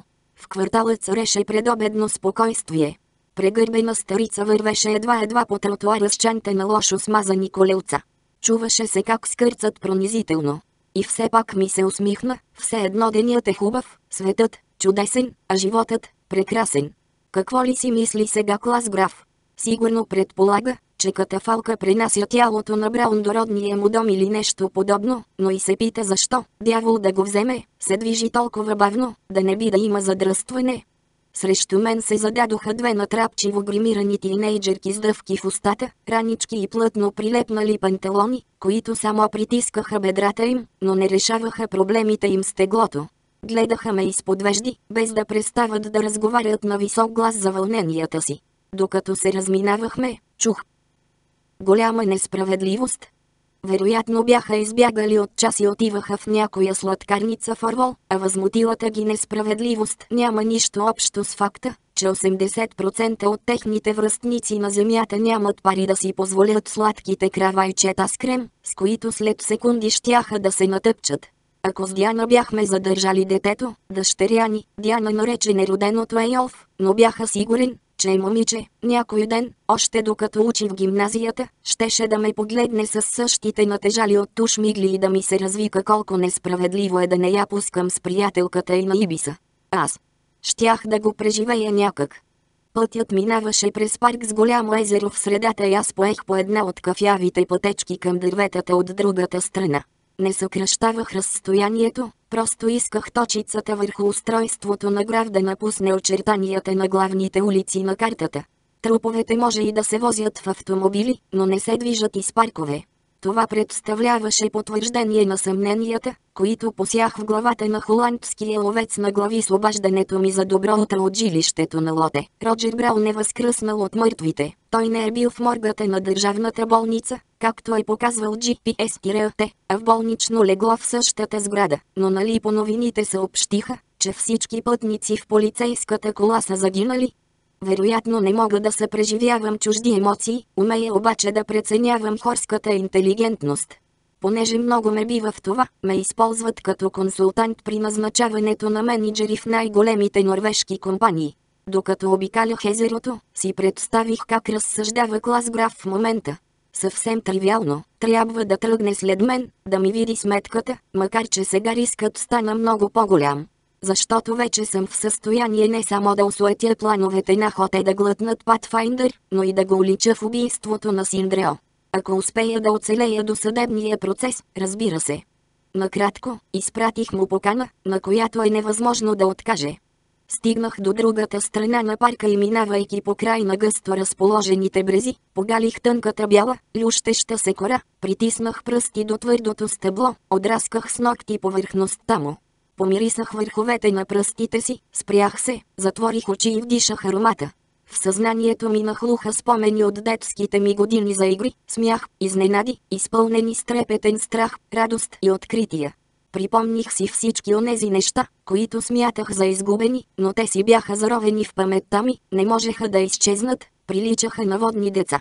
Старият Рогер Браун не би бил в състояние да ги открие, ала новият беше. Колко ли щеше да живее новият? Едва ли му оставаше много живот. Това обаче не го притесняваше, щеше да изживее последните си мигове по-пълноценно, отколкото старият бе изживял 33-те си години. Стигнах до къщата на Увеши Керют. Вече се бях стоплил. Седнах на един пън в горичката, откъдето се откриваше задоволителен изглед към пътя с жилищните сгради. Установих, че гледката от източните квартали не се различава кой знае колко от гледката от западните.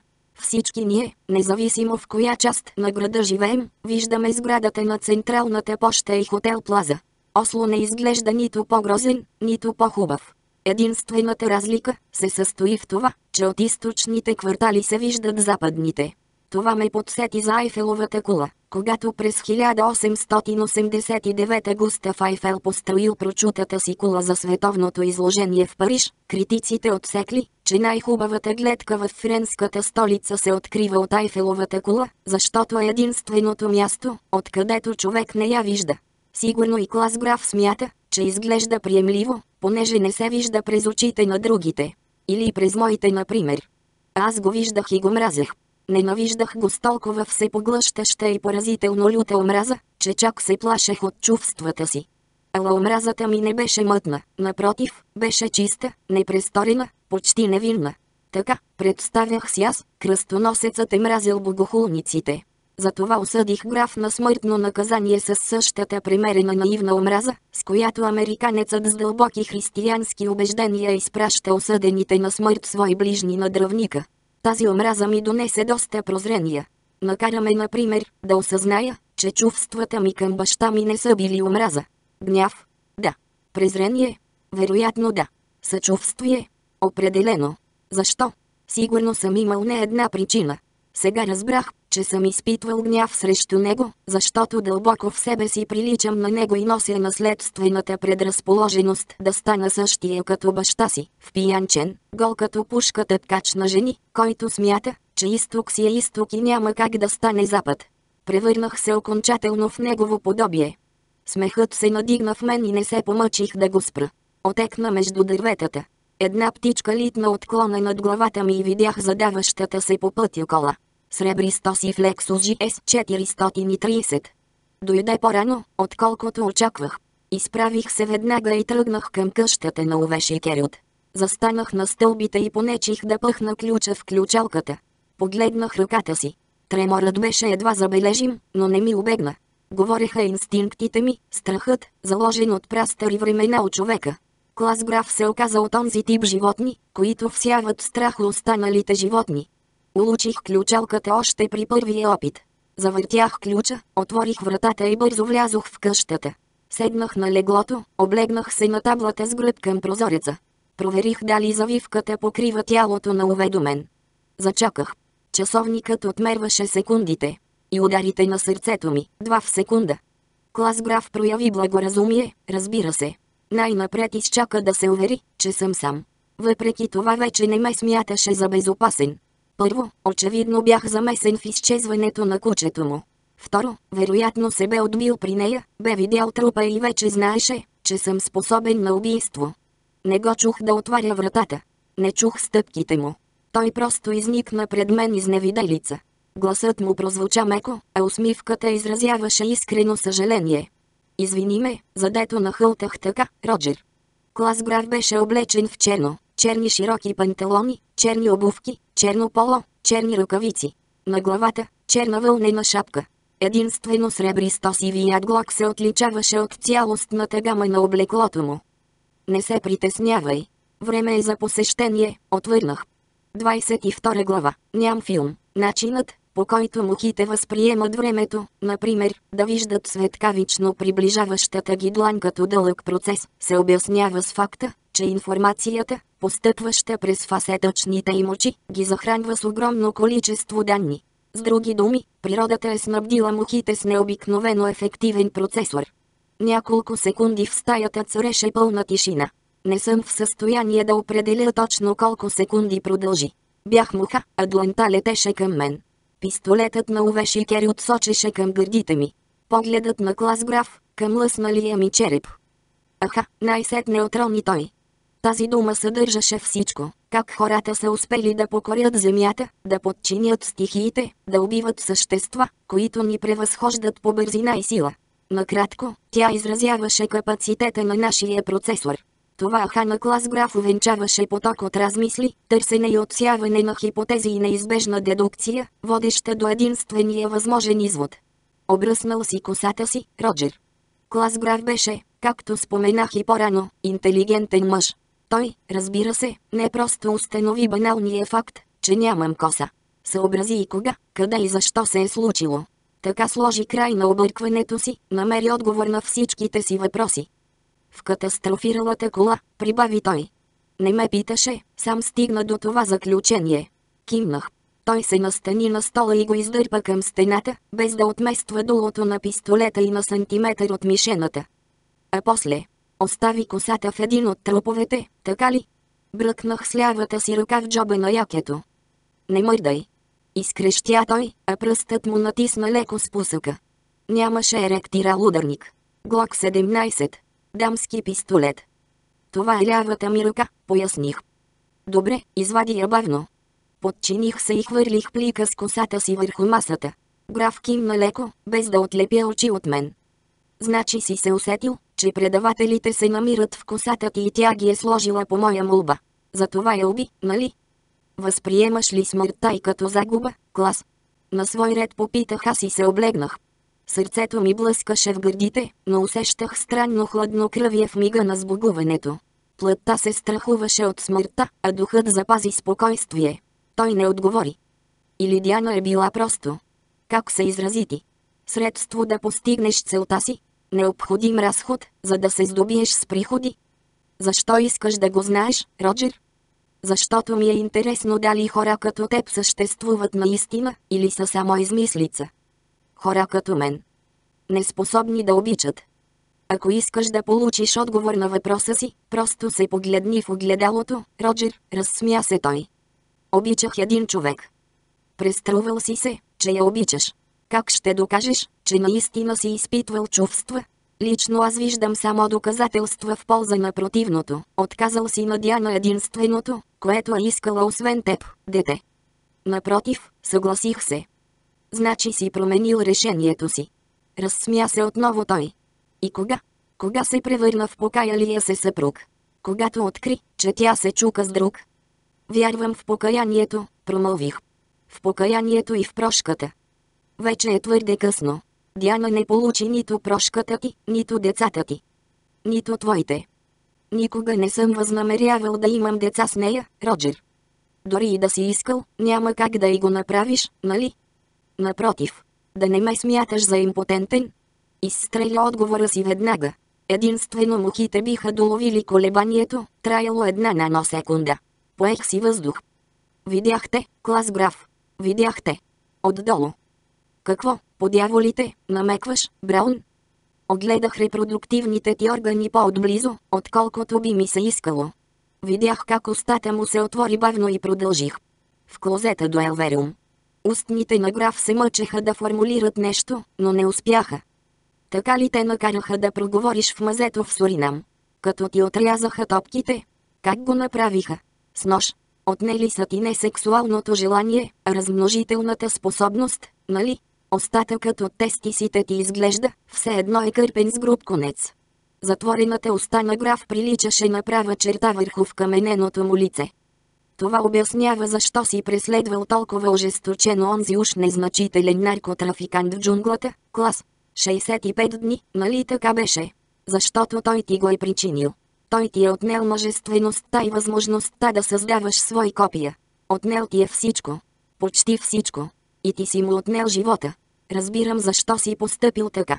Под точка трета от стъпка втора според техниката на Инбал, Рит и Бъкли, предложете морално приемлив мотив за престъплението. Вече не се нуждаех от неговото признание. Възнамерявах да му поднеса моето, и то предварително. Клас, разбирам те отлично, защото аз смятах да те убия по същата причина. Ти ми отне всичко. Почти всичко. Устата на граф издаде звук, само бегло наподобяващ смях. Кой държи пистолета, Роджер? Ще те убия, както убих шибаното ти куче. Мускулите на челюстите му се стегнаха, когато стисна зъби, а кокълчетата на пръстите му побеляха. Така и не го видя, нали? То приключи живота си като храна за гаргите. Нанизано върху браната на трактора но. Повдига ми се от теб, Роджер Браун. Четеш ми морал, а самият ти си убиец на животни и на деца. Прав си, ала грешиш по отношение на онова, което ми каза в болницата за детето ни. Всички изследвания потвърдиха, че детето ни е здраво и няма синдрома на Даун. Убедих Диана да направи аборт просто защото не исках да я деля с никого. Чува ли си по-инфантилно обяснение? Чиста, неопетнена ревност към неродено дете. Сигурно се дължи на факта, че като дете не са ме обичали достатъчно. Как мислиш? Вероятно и ти си се чувствал така, а, клас? Или от самото си раждане си бил зъл?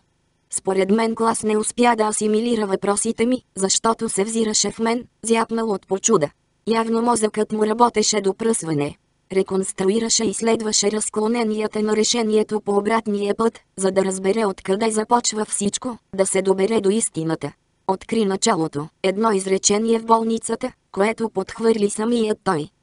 Да направи аборт, понеже плодът имал синдрома на Даун. Кажи ми, продължих, след като се уверих, че се е сетил, обичал ли си друг освен кучето си. Той вдигна пистолета. От живота на новия клас граф оставаха броени секунди. Ледено сивите очи на граф проблеснаха и мекият му глас премина в шепот. Смятах да те застрелям с куршум в главата от уважение към теб, защото си достойна плячка, Роджер. Сега обаче възнамерявам да се върна на първоначалния си план.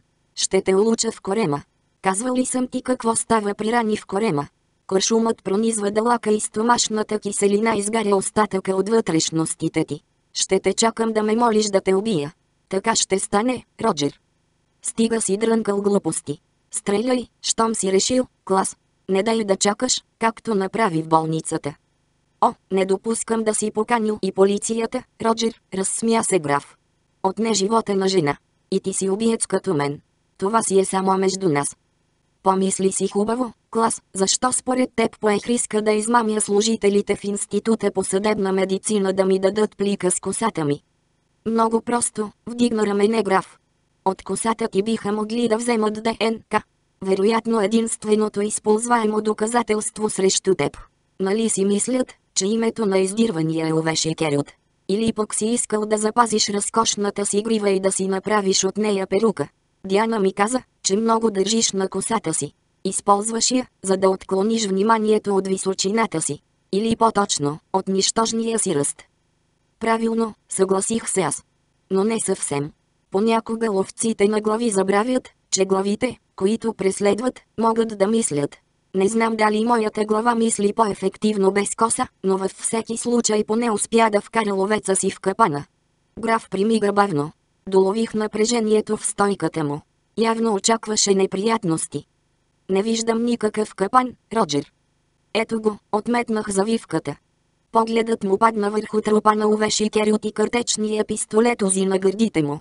Той реагира светкавично и насочи пистолета срещу мен. Не си го и помисляй, Браун. Посегнах към пистолета. Не дай. Изкрещя граф. Вдигнах оръжието. Граф натисна спусъка. Изстрелът изпълни стаята. Насочих долото към него. Той се беше надигнал наполовина от стола и стреля втори път. Натиснах спусъка до край. Разнесе се дрезга в рев на олово, което разпори въздуха, стените на уве, стола, черните панталони на граф, безупречната му бедрена мускулатура, разпори слабините му, а надявах се и члена, който бе прониквал в Диана, разпори изпъкналите му коремни мускули и уж защитените под тях органи. Граф се стълполи на стола, а пистолетът тупна върху пода. Внезапно настъпи тишина, чуваше се само търкаленето на празната гилза по паркета. Наклоних глава и го погледнах. Очите му се взираха в мен, потемнели от шока. Вече няма как да минеш успешно медицинския преглед при Pathfinder, граф. Съжалявам. Край на шансовете да задигнеш технологията им. Въпреки старанията ти.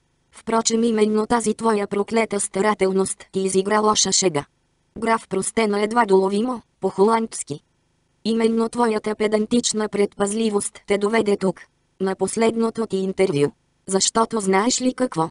Ти си човекът, когато търсех за поста в Pathfinder. Не само предполагам, а съм напълно сигурен, че няма по-подходящ кандидат от теб. Следователно и постът в компанията е идеален за теб. Вярвай ми, граф. Той мълчеше и гледаше раната си. Кръвта обагри половера му в още по-тъмен нюанс на черното. Продължих. И така, обявявам ви за жертва на гнец, господин граф. Удостоявам ви със званието убиец на Увеши Керют, т.е. този човек до мен. Потупах Ове по корема. Граф простена и надигна глава. Какви, подяволите, ги дрънкаш? Попита той отчаяно, безсилно и сънливо. Повика или нейка, преди да си станал двойен убиец, Браун. Помисли си, ти си пълен аматьор, няма да се измъкнеш от полицията. Обади се набър за помощ и аз на свой ред също ще те пощадя. Погледнах Ове.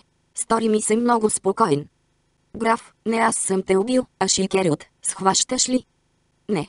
За Бога, повикай проклетата линейка, не виждаш ли, че кръвта ми изтича? Съжалявам, вече е твърде късно. Твърде късно ли? Да не възнамеряваш да ме оставиш да умра? В гласа му се прокрадна нещо ново. Дали не беше плачлива нотка? Моля те, Браун. Не тук, не по този начин. Умолявам те, не го прави. Плачеше, разбира се. Сълзите се стичаха по бузите му.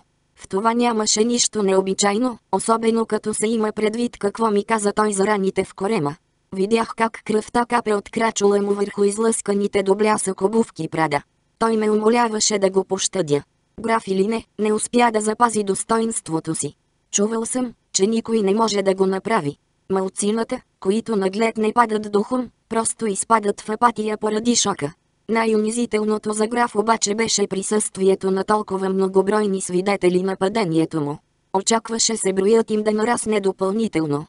15 секунди след като влязох в дома на Уве Шикерют, без да въведа паролата Наташа, камерите за видеонаблюдение бяха започнали да снимат, а в централата на Триполис алармата се бе задействала. Представих си как дежурните служители са се скупчили около екрана, как са проследили действията на граф, единствения видим актьор в немия филм, с невярващи очи. Видели са го как си отваря устата, но не са можели да чуят думите му. Видели са как е стрелял, как са го улучили и са проклинали Уве, задето в дома му няма камера с обхват над леглото. Погледнах си часовника. Алармата се бе задействала преди 4 минути. Вероятно преди 3 минути от Триполис са уведомили полицията. Те, на свой ред, са се обадили на отряда за бързо реагиране Делта, който се намесва при въоръжени акции. Събирането на екипа им отнема известно време. Тунсехаген се намира далеч от центъра. Очаквах първите полицейски коли да пристигнат на место престъплението след не по-малко от четвърт час. От друга страна обаче, не виждах смисъл цялата история да се проточва твърде дълго. Граф изстреля два патрона от цели 17 в пълнителя. С твое позволение ще си тръгвам, клас, отворих прозореца зад таблата на леглото. Но ще ти дам последен шанс. Вдигни пистолета. Ако успееш да ме застреляш, ще намериш сили и сам да си повикаш линейка. Той ме гледаше с празен поглед. В стаята лъхна ледено студен вятър. Зимата безспорно бе дошла. Хайде де, подканих глас. Какво има да губиш? Явно логиката в думите ми все пак проникна до мозъка му, объркан вследствие на силния шок. Избързо движение, много по-бързо, отколкото очаквах предвид раните му, той се хвърли върху пода и грабна оръжието. Кършумите от картечния пистолет заваляха като градушка. Мекият тежък токсичен метал надупчи паркета между краката му и се разхвърчаха с търготини. Ала преди автоматичният откос да стигне до него, да прониже гърдите му, сърцето му и да пробие белите му дробове, които издъхнаха с просъскване, той успя да изстреля един куршум. Един единствен. Звукът отекна между стените. После настъпи тишина. Мъртвешка тишина. Само вятърът пееше едва доловимо. Немият филм се превърна в стоп кадър, замръзна в студа, пропълзял в стаята. Всичко свърши. Пета част. Един месец по-късно, 23 глава, последно интервю, вечерна редакция, музикалният мотив, съпровождащ заставката на информационно-дискусионната програма вечерна редакция, представлява съвсем обикновена мелодия, изпълнена на китара.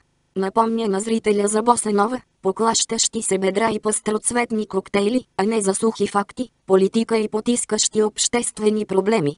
Или за престъпления, каквато беше темата за тази вечер. Заставката трае съвсем кратко, за да внуши на зрителите, че вечерна редакция е предаване без излишни празнословия, където водещият и гостите говорят само по същество. Вероятно за това предаването започна с кадър от камера, разположена върху операторски екран в студио 3, който показваше участниците в програмата от птичи поглед. После камерата се снижи рязко и на екрана се появи водещият отга. Дюбват в крупен план. Както обикновено, в същия миг той вдигна очи от книжата пред себе си и си свали очилата. Този трик сигурно е идея на продуцента, за да се създаде впечатление, че новината е съвсем прясна и Дюбват току-що я е прочел. Отга. Дюбват има гъста, късо подстригана коса, прошарена на слепоочията и вечно 40 годишно лице. На 30 беше изглеждал като 40 годишен, на 50 щеше да изглежда пак така. Отга. Дюбват е завършил социология, притежава аналитичен ум, умение да се изразява и таблоидни заложби. Безспорно не това е причина ръководството на канала да му повери дискусионна програма, а дългогодишният му стаж като новинар. Работата му се състои в четене на написан предварително текст с подходяща интонация, подходящо изражение, в подходящ костюм и подходяща вратовръзка, а Ладюбват бе намерил толкова подходяща интонация, изражение и вратовръзка, че си осигури доверие, с каквото не се ползваше нито един съвременен човек в Норвегия. Това обществено доверие му трябва, за да изнесе на плещите си предаване като вечерна редакция. Странно, но репутацията му на недосегаем само печели от публичните му изявления колко много обича телевизионния си рейтинг и разказите как на съвещанията на редакционната колегия именно той, а не ръководството на канала, настоявал в предаването да заложат на комерциални проблеми. Отга. Дюбват иска атмосферата в студиото да се нажежава от провокативните изказвания на гостите, а не да породи съмнения, разнопосочни мнения и разсъждения. Това е по-скоро ролята на вестникарските хроники. Когато медиите го разпитват по този въпрос, неизменният му отговор гласи защо да отстъпвам дебатите за кралското семейство, за правата на хомосексуалните родители да осиновяват деца и за злоупотребите с социалните помощи на несериозни актьори, щом ние от вечерна редакция можем да ги обсъдим? Предаването пожена безспорен успех и отга. Дюбват се превърна в звезда. След скандален и шумен бракоразводен процес нарастващата му популярност му осигури и млада съпруга в лицето на известна водеща от канала, тази вечер ще говорим по две теми, обяви той с глас, леко разтреперен от едва прикрит ентусиазъм, докато гледаше настойчиво от екрана. В първата част от предаването ще обсъдим една от най-кървавите драми в историята на Норвегия. След едномесечна непрекъсната работа полицията смята, че най-сетне е успяла да разнищи така наречения случай граф, който включва 8 убийства. Мъж е убит в фермата си в околностите на Елвериум. Откраднат автовоз прегази четирима полицай. Намерена беше жена, застреляна в дома си в Осло. После двамата главни герои загинаха в престрелка помежду си в къща в Тунсехаген. Както вече знаете, разигралата се кървава драма е записана на филмова лента, защото къщата се е намирала под видеонаблюдение и е била обезопасена с аларма. През последните седмици копия от записа изтекоха в медиите и плъзнаха в интернет пространството. Отга. Дюбват сгъсти патоса.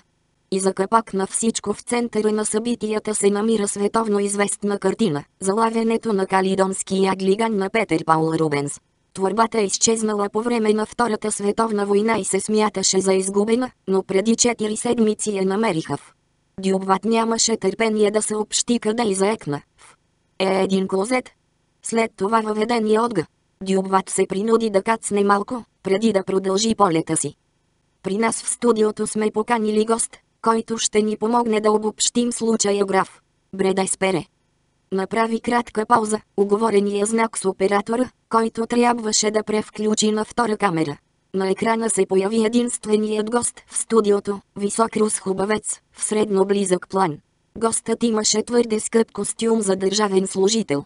Върху разкопчаната на гърдите му риза блестяха седефени копчета.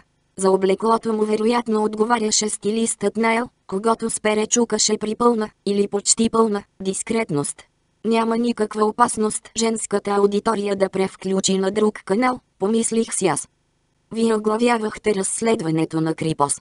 Имате близо 15 годишен професионален опит зад гърба си. Сблъсквали ли сте се с нещо подобно? Всеки случай е различен, отвърна Бреда с Перес непринудена самоувереност. Не беше нужно да си ясновидец, за да се досетиш, че след предаването феновете му щяха да наводнят телефона му с съобщения. Самотни майки, които живеят в околностите на Осло, имат собствен автомобил и много свободно време през следващата седмица, щяха да питат дали е обвързан и иска да излезе на чаша кафе с интересна компания. Щяха да му пишат и млади момчета с предпочитания към по-олегнали мъже а някои щяха да прескочат всички увертюри и направо да му изпратят снимка, на която се харесват, с чаровна усмивка, нова прическа, хубави дрехи и добре подбрано деколте. Сигурно на някои снимки дори нямаше да има лице. На други – дрехи. Но за всички ни е ясно, че не всеки ден разследваме 8 убийства, продължи Спере. Понеже се изрази малко лековато за случая, побърза да добави. Това е прецедент и тук, и в други страни, с които обикновено се сравняваме. Бредай спере, Дюбвад винаги се стараеше да повтаря имената на гостите си, та зрителите да ги запомнят, този случай получи силен международен отзвук. Освен убийството на осмина души интерес събуди и фактът, че ключова роля в престъплението играе световно известна картина, нали? Е, да, картина, известна сред ценителите на изкуството. Според мен съвсем спокойно можем да я наречем световно известна. Възкликна Отга. Дюбвати се помъчи да улови погледа на Бреда Спере, вероятно за да му напомни какво са се разбрали преди началото на предаването. Да действаме като тандем, като двама са отборници с общата цел да разкажат на зрителите невероятна история. Думите на Спере подронваха славата на картината и така ощетяваха сензационната стойност на историята.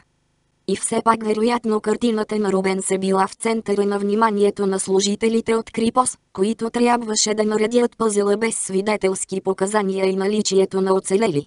Прав ли съм, Спере? Напълно. Утре ще представите окончателния доклад от разследването, но бихте ли разказали на зрителите какво всъщност представлява случаят граф? Моля ви да обрисувате хода на събитията от игла до конец. Бредай спера кимна. Но вместо да започне да говори, вдигна чашата с вода и отпи. Г. Дюбват се усмихна широко в десния ъгъл на кадъра. Не беше изключено двамата да се разбрали предварително да приложат този художествен похват и чрез преднамерената пауза да подразнят любопитството на зрителите, да ги накарат да седнат на ръба на канапето и да се вторачат в екрана с широко отворени очи и уши. Или пък Спере реши да поеме режисурата в свои ръце. Полицаят остави чашата и си поедах. Преди да ме преместят в Крипос, работех в отдела за борба с кражбите, както сигурно знаете. Занимавах се с разследване на зачестилите през последните години случаи на кражби на картини. Почеркът подсказваше, че в Осло върлува организирана престъпна група.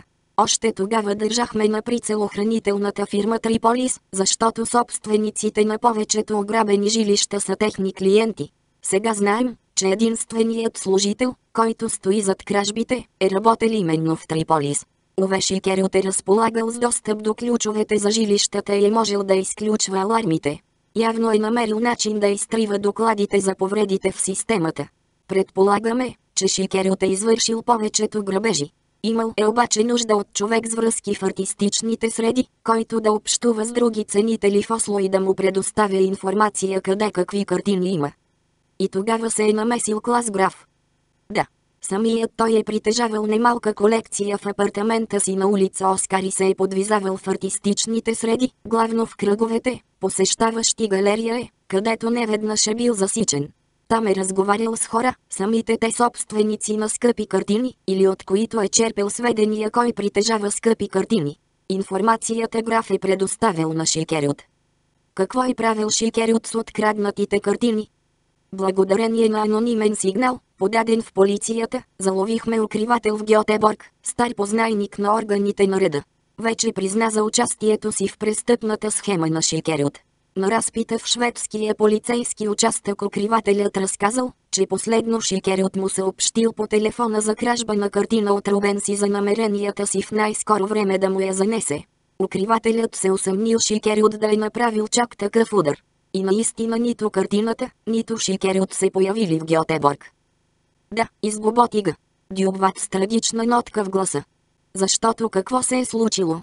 Спере се усмихна снисходително, сякаш мелодраматичното поведение на водещия му се струваше малко комично, и продължи. Явно Шикерот и граф са решили да се откажат от посредничеството на укривателя и сами да продадат картината. Нека не забравяме, че комисионната на укривателите възлиза на 50% от печалбата, а в случая с картината на Рубенс говорим за много крупна сума. Граф, бивш менеджер на холандска компания за високи технологии, търгуваща с Русия и бившите страни от източния блок, е имал многобройни познати, като не всички от тях са развивали законна дейност. Граф и Шикерют са видели възможност да обезпечат бъдещето си до живот но граф е създавал впечатление на човек с достатъчно средства. Компанията, в която е бил менеджер, се е намирала пред фалит и той се е разделил с шефския си пост преди няколко месеца. Явно години наред е разполагал с много пари. Известно ни е също, че е кандидатствал за работа в норвежка фирма с седалище в Хуртен. И така, Шикерът не се е явил на уреченото място за среща с укривателя, защото с граф са решили сами да продадат картината. Какво се е случило после? Преди да намерят купувач, е трябвало да я скрият на сигурно място. Затова са отишли в специално наета за срещите им вила, собственост на Синдрео. Намира се близо до Елвериум. Точно така. Според съседите във вилата не живеел никой, само от време на време идвали двама мъже. Не познавали никого и се старали да не привличат хорското внимание. Смятате, че тези мъже са били графи Шикерют? Двамата са невероятни професионалисти и са проявявали нечувана предпазливост при общуването помежду си. Не са оставили никакви следи, доказващи, че са се познавали. Никой не ги е засичал заедно. Разпечатките на телефонните им разговори не показват да се разговаряли. А после се е случило нещо непредвидено. Да, не знаем точно какво. Отишли са във вилата, за да скрият картината. Всъщност е съвсем нормално помежду им да настъпи разрив. Когато сумите станат тлъсти, у престъпниците се прокрадва съмнение в партньора, на когото до вчера са имали доверие. Вероятно са се спречкали. Били са дрогирани. Лабораторните тестове показаха наличието на наркотици в кръвта им. Наркотици. Комбинация от кеталар и дормикум. Силни упойващи вещества. Не са популярни сред наркоманите в Осло. Предполагаме, че граф ги е донесъл от Амстердам. Под въздействието на наркотиците предпазливостта на двамата е отстъпила на заден план и накрая са изпуснали напълно нещата от контрол. Отнели са живота на Синдрео. А после... Секунда, прекъсна го Дюбват. Бихте ли разяснили на нашите зрители как е било извършено убийството? Спере вдигна едната си вежда, сякаш за да изрази известно неудоволствие от нескрития афинитет на водещия към кървави истории. Все пак се съгласи да отговори. Можем само да гадаем. Вероятно Шикерот и граф са принесли купона в дома на Синдрео и са се похвалили с кражбата на прочутата картина. О се е опитал да съобщи в полицията, възможно е да ги е заплашил. И клас граф го е удушил с гарота. Какво представлява гаротата?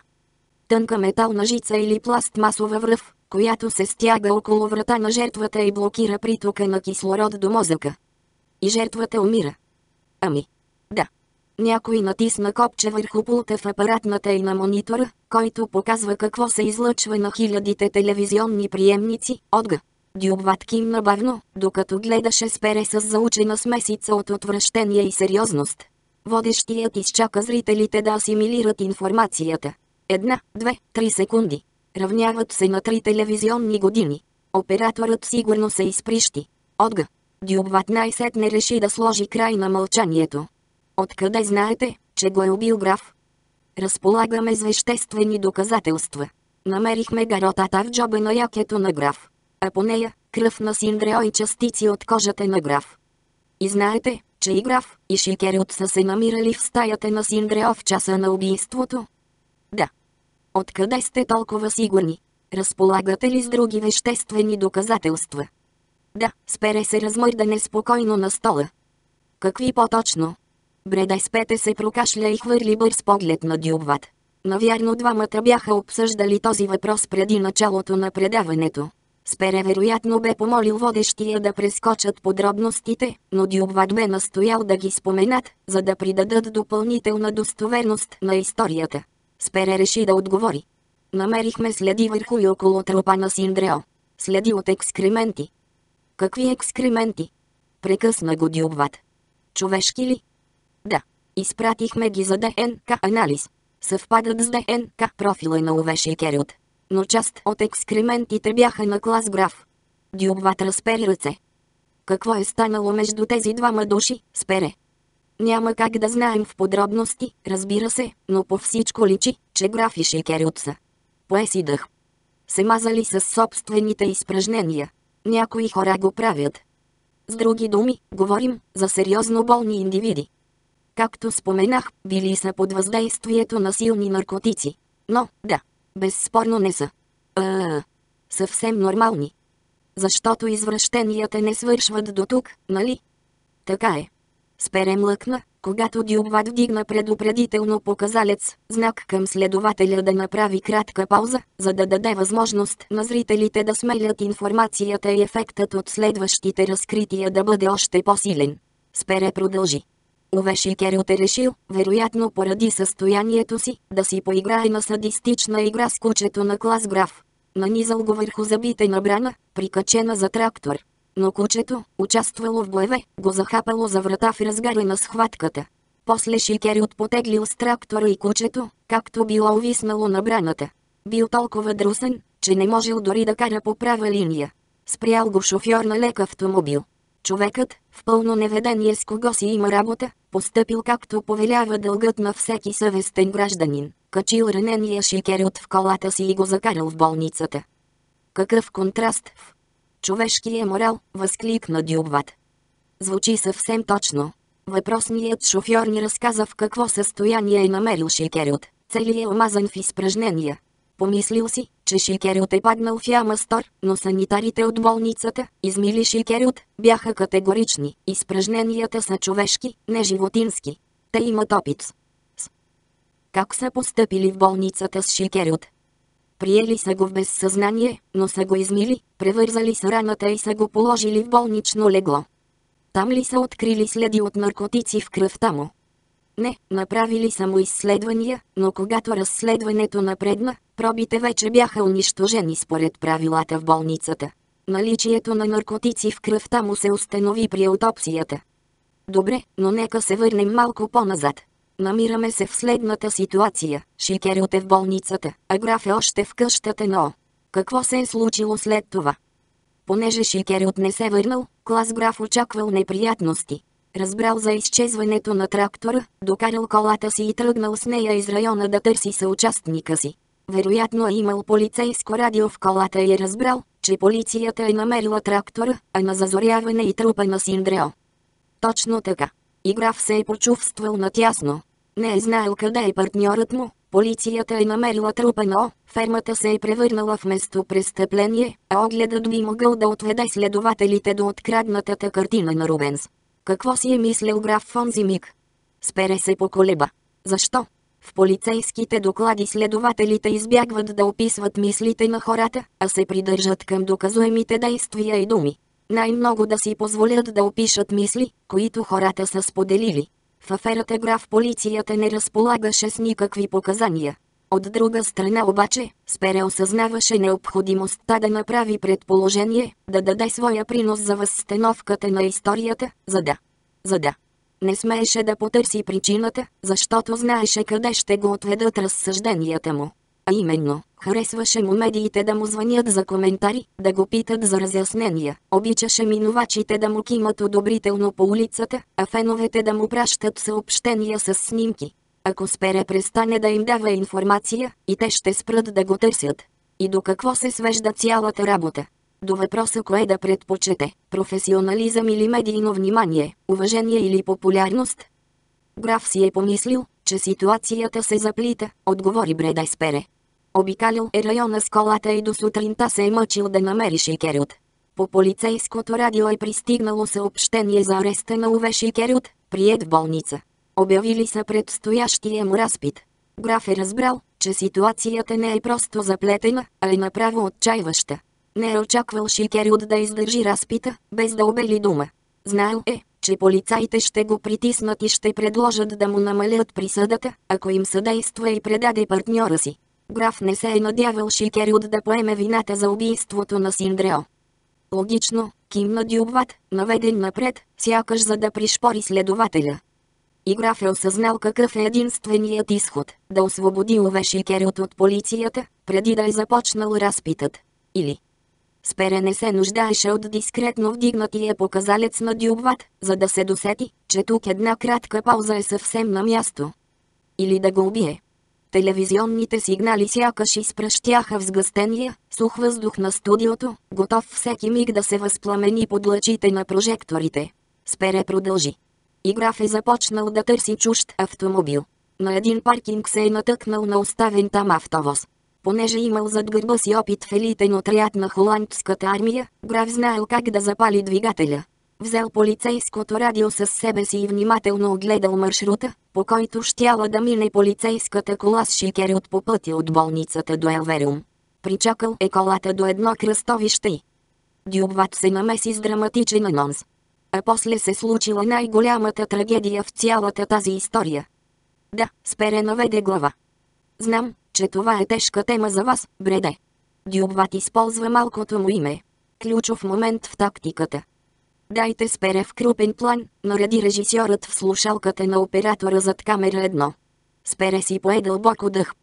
В последвалата катастрофа загинаха четирима съвестни полицай, сред които мой близък колега от Крипос, Юар Сюндет. На екрана показаха бреда с внимателно приближение. Средностатистическият зрител едва ли бе забелязал как лицето на Спере постепенно изпълва все по-голяма част от телевизора му. Повечето зрители усетиха само как вниманието им се съсредоточава върху фигурата на следователя, а атмосферата в студиото става по-задушевна и те сякаш проникнат в най-съкровените кътчета на душата на този внушителен, дълбоко разтърсен полицай. Полицейската кола е изхвърчала над мантинелата и е паднала между дърветата до реката, продължи Дюбват. Цяло чудо е, че Овеши Керот е оцелял. Да, спере се окопити. Излязъл е от останките с собствени сили или с помощта на граф. Зарязали са автовоза и са се върнали в Осло с колата на граф. Полицаите открили катастрофиралия служебен автомобил и изчезването на единия труп, но предположили, че е паднал в реката. Освен това Шикерют успял да облече тялото на единия полицай в своите дрехи и така да заблуди органите на реда за самоличността на изчезналия. Граф и Шикерют са се отървали от полицията, но ги е разтресла здрава параноя, нали? Да. Шикерют отлично е знаел, че когато граф е блъснал полицейската кола с автовоза, му е било все едно дали Шикерют ще оцелее. Затова Шикерют се е почувствал в смъртна опасност. Граф е имал поне две основателни причини да му види сметката. Първо, Шикерот е бил свидетел на убийството на Синдреой. Второ, граф е предпочитал да не дели с никого печалбата от картината на Рубенс. Шикерот е очаквал граф да го нападне при първата удобна възможност. Г. Дюбват се наведе оживено напред. И навлизаме в последното действие на разигралата се драма. Двамата престъпници са пристигнали в Осло. Шикерот се е прибрал в дома си, но не за да разпуска. Знаел е, че се налага да изпревари граф, да го ликвидира, преди да бъде ликвидиран. От богатия си оръжейен арсенал е извадил малък черен пистолет марка. Рорбаур 9, обясни Спере. 9 мм, полуавтоматичен, побира 6 куршума в пълн. И въоръжен с него, е отишъл на мястото, където е очаквал да намери граф. В апартамента на любовницата му. Нали така? Не сме сигурни какви точно са били отношенията помежду им. Знаем само, че са се срещали редовно. В спалнята й открихме отпечатъци на граф. И така, Шикерот е отишъл в жилището на любовницата с огнестрелно оръжие в ръка. Тя му е отворила, пуснала го е вътре и той я е застрелил. После е претърсил апартамента й, но не е намерил клас граф. Шикерот е оставил трупа и в леглото и се е върнал в дома си. Явно непрекъснато е носил оръжието с себе си, независимо къде се намира, дори в леглото. И после се е появил клас граф. Да. Не знаем как е влязъл, вероятно с шперц. Нямал е представа, че е активирал беззвучната аларма и камерите в жилището са се включили. Значи полицията разполага с видеозапис на последния двубой между двамата престъпници. Бихте ли разказали накратко какво се е случило за онези от нашите зрители, които не са имали възможността да потърсят записа в интернет? Започнала е престрелка. Първо граф е стрелял два пъти с своя глок 17. За всеобщо очудване и двата пъти не е улучил. В смисъл. Пропуснал е да улучи съвсем близка мишена, а е бил добре обучен командос. Стената ли е оцелил? Не. Как така? Не намерихме куршуми в стената над леглото. Излетели са през прозореца. Бил е широко отворен. Как разбрахте? Навън намерихме куршуми от пистолета. Вижти. В гората зад къщата, в къщичка за кокомявки, закачена на едно дърво, спере се усмихна звит на човек, който осъзнава колко скромно представя успеха си и как принизява значението му. Разбирам. А после, Шикерот е отвърнал на удара с картечен пистолет Узи, който държал в леглото си. На записа се вижда как куршумите улучват граф в слабините и в корема. Той изпуска пистолета, но пак го вдига и успява да изстреля трети, последен куршум. Улучил е шикерот в челото над дясното око. Раната е причинила тежки разкъсвания в мозъка, но в реалността не става като по филмите, където всеки изстрел в главата води до мигновена смърт. Шикерот е успял да произведе последен залп, преди да умре. Този залп е убил клас граф. Последва продължително мълчание. Вероятно режисьорът на предаването показа на Отга.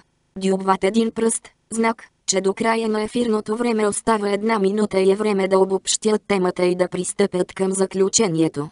Водещият се облегна на стола, вече по-спокоен.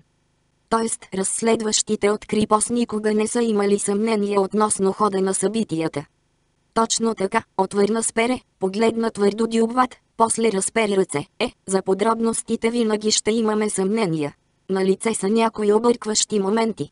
Например, съдебният патолог, пристигнал на место престъплението, твърдеше, че телесната температура на трупа на Шикерют е паднала твърде бързо и е характерна за труп на човек, починал почти денонощие по-рано.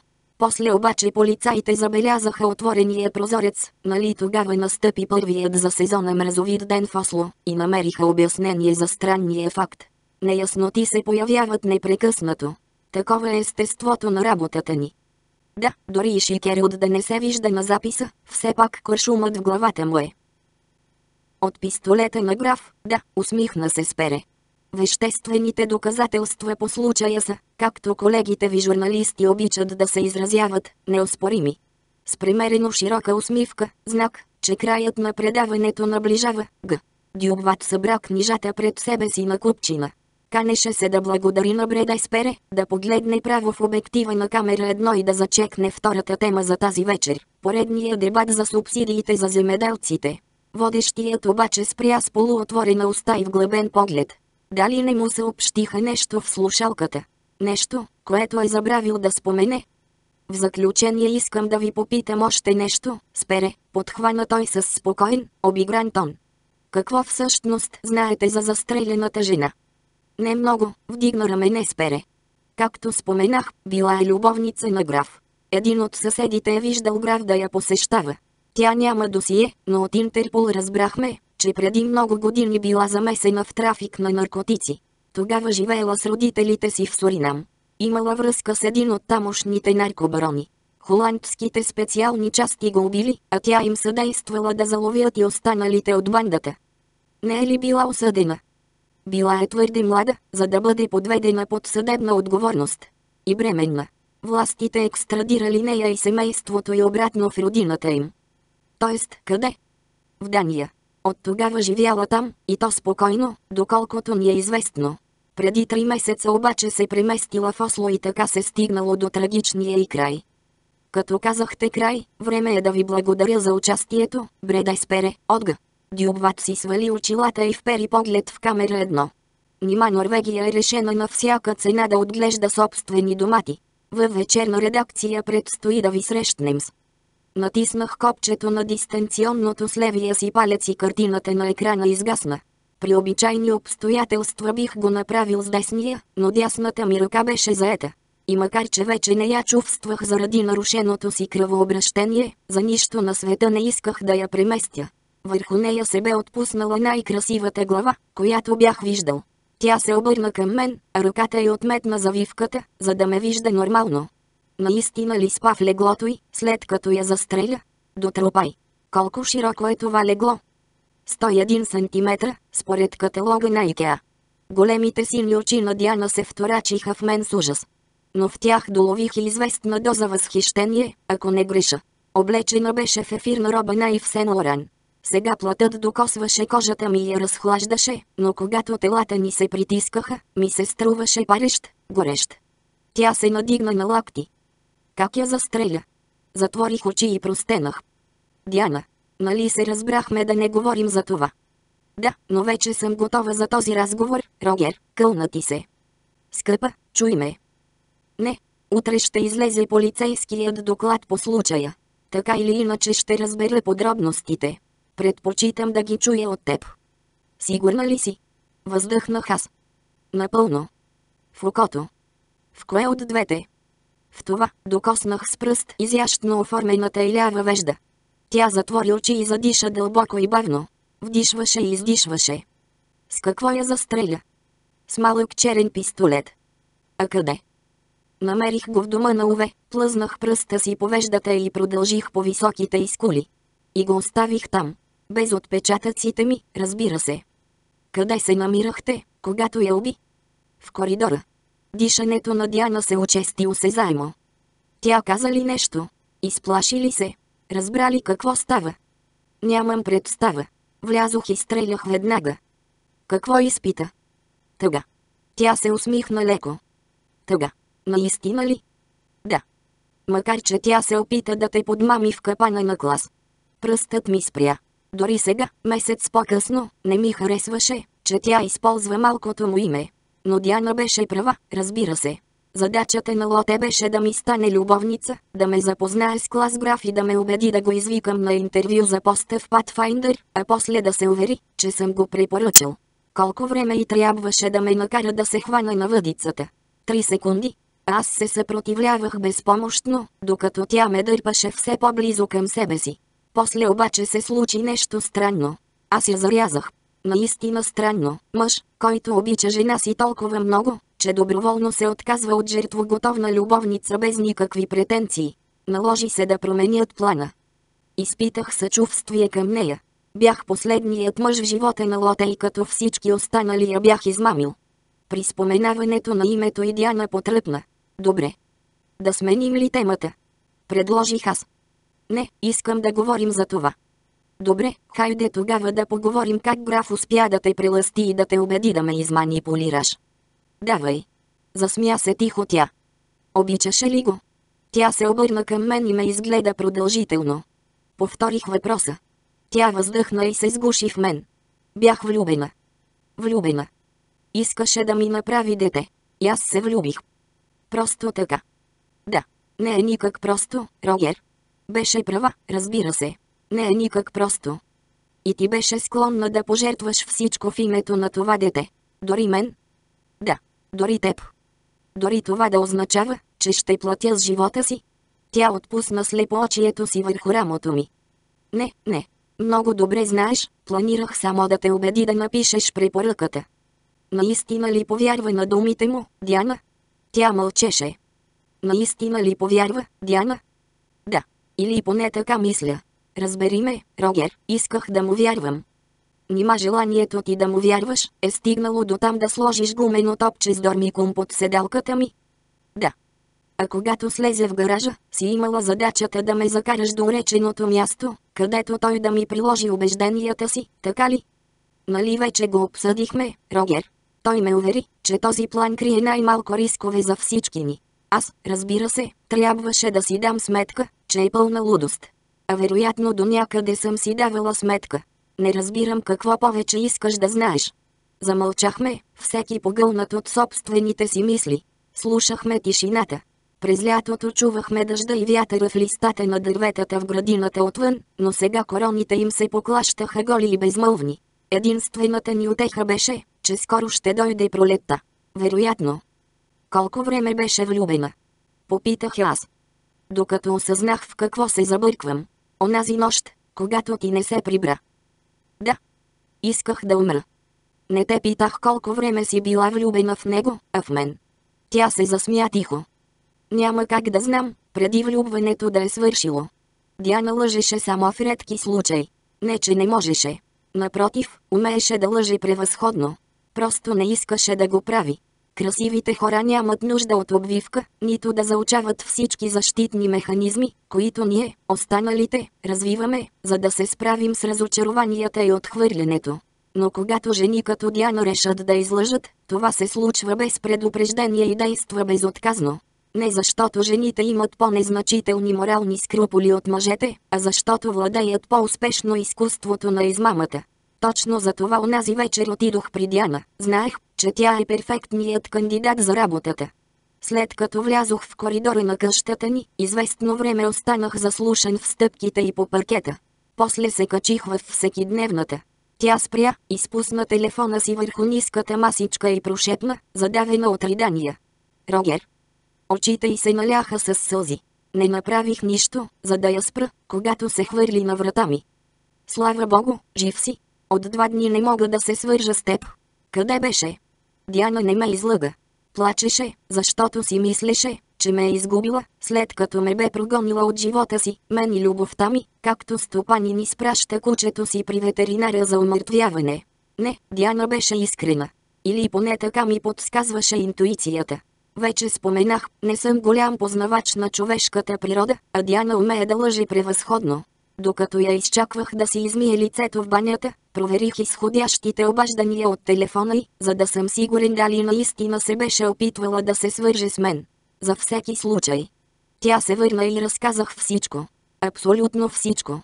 Къде съм ходил, как съм поступил, какво се е случило, как с увек крадем картини, как съм намерил телефона и под леглото на клас граф, как ме подведе дъпчанката Лоте, за разговора ми с граф в болницата, който ме наведе на мисълта, че той и Лоте се познават и именно тя е неговият съучастник. Не Диана, а бледото момиче с кафяви очи и вълшебни пръсти, преводачката, която владееше испански и държеше на чуждите съдби повече отколкото на своята, бе намазала косата ми с жилето, съдържащо предаватели. Тогава разбрах, че жилето е било в косата ми още преди да намеря шикерют в колата. Диана ме гледаше с широко отворени очи, но ме изслуша мълчаливо. В болницата граф спомена, че съм те убедил да направиш аборт, защото плодът страдал от синдрома на Даун. Синдромът на Даун ли? Най-сетне се обади Диана след неколко минутно мълчание. Откъде е останал с такова впечатление? Не съм му казвала подобно нещо. Знам. Аз си го измислих, когато Лоте ми сподели, че родителите я принудили да направи аборт като тинейджерка. Излъгах я, за да се представя в по-добра светлина. И тя. Тя. Да. Няма кой друг да го е казал на клас граф освен нея. Изчаках Диана да смели информацията и обясних какво съм планирал. Тя прикова в мен ужасените си очи и извика. Не мога да го направя, Рогер. Можеш, възразих. Можеш и ще го направиш, скъпа, така се изрази новият Рогер Браун. Ама. Ама. Той те е излъгал, Диана. Не може да те забремени. Стерилен е. Как така стерилен? Аз ще ти направя дете. Обещавам. Само направи каквото те моля. Тя се противеше, плачеше и ме умоляваше, но накрая склони. А когато по-късно същата вечер тръгнах към дома на Лоте, за да се превърна в убиец, инструктирах Диана как да действа с непоклатимото убеждение, че ще се справи. Виждах как ще посрещне граф с ослепителна лицемерна усмивка и чаша коняк в ръка, как двамата ще вдигнат на здравица за победата, за бъдещето, за още не заченатото дете, което тя ще настоява да заченат възможно най-бързо, още тази нощ, веднага. Подскочих, защото Диана ощипа едното зерно на гърдите ми. За какво си мислиш? За онази нощ, придърпах завивката. Нали граф дойде тук? Лежали сте в същото легло, където лежим сега с теб. Е, и, а ти си спал до труп. До сега се въздържах, но въпросът напираше на устните ми. Правихте ли секс? Издържа много време, скъпи, засмя се тихо тя. Правихте ли? Нека го кажа така, капките дормикум, останали в гуменото топче, които изцедих в питието му за добре дошъл, подействаха по-бързо, отколкото очаквах. Докато се освежа и се върна при него, вече спеше като дете. А на следващата сутрин. Оттеглям въпроса, избързах аз. Диана се засмя и ме погали по корема. На следващата сутрин беше съвсем бодър. Не заради мен, а заради телефонното обаждане, което го събуди. Моето предупреждение. Да. Облече се и излезе веднага. Къде държеше пистолета? В джоба на якето си. Той провери ли го, преди да тръгне, не знам. Нямаше как да забележи разлика, защото оръжието тежеше пак толкова. Смених само най-горните три патрона в пълнителя. Да, но върху халосните патрони, които ти дадох, имаше изписана с червено латинската буква. Ако е проверил, вероятно си е помислил, че е съкръщения отбът, задник. Смехът на двама души изпълни стаята. Слушах го с удоволствие. Ако всичко протече безпроблемно и тестът наистина отчита правилно, не след дълго стаята ще се изпълни с смеха на трима.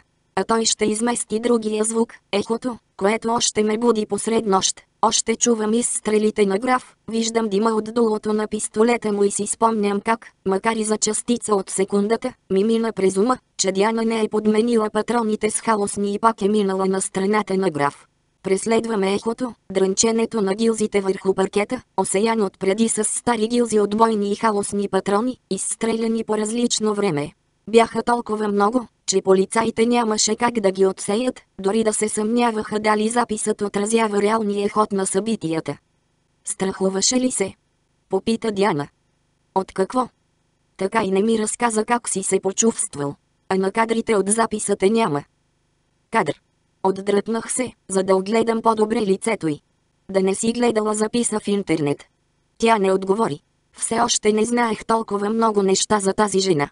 Вероятно цял живот ще си остане загадка за мен. Да, страхувах се. От какво? нали знаеше, че в пистолета му няма. Само първите три патрона бяха халосни. Трябваше да го предизвикам да ги изстреля, защото в противен случай криминалистите щяха да открият неизползвани халосни патрони в пълнителя и да схванат постановката, нали? Съществуваше опасността граф да е проверил предварително пълнителя или да има неизвестен за мен съучастник. Млъкнах. Страхуваше ли се за нещо друго? Тихо попита Диана. Знаех, че и тя мисли за същото, за което и аз. Да. Страхувах се за още нещо, обърнах се към нея. Очестеното и дихание ме лъхна като топла вълна по лицето. Боях се да не те убие през нощта. Граф изобщо не възнамеряваше да се жени за теб, а ти представляваше опасен свидетел. Осъзнавах, че рискувам живота ти, като те използвам за примамка. През цялото време чувствах каква опасност ме грози, скъпи, прошепна тя. Затова още на вратата му дадох питието и не го събудих, докато не му звънна телефонът. Знаех, че след като чуе гласа на призрака от телефона, веднага ще се махне. А и смених първите три патрона в пистолета му, нали? Да. Както споменах и по-рано, Диана не е от жените в обтегнати отношения с простите числа и логиката. Тя погали корема ми. Освен това оценявам високо факта, че нарочно ме постави в смъртна опасност. Как така? Плъзна ръка към члена ми. Обгърна топките ми, претегли ги и внимателно ги стисна. Балансът е много съществена част от всички работещи хармонични взаимоотношения, продължи Диана.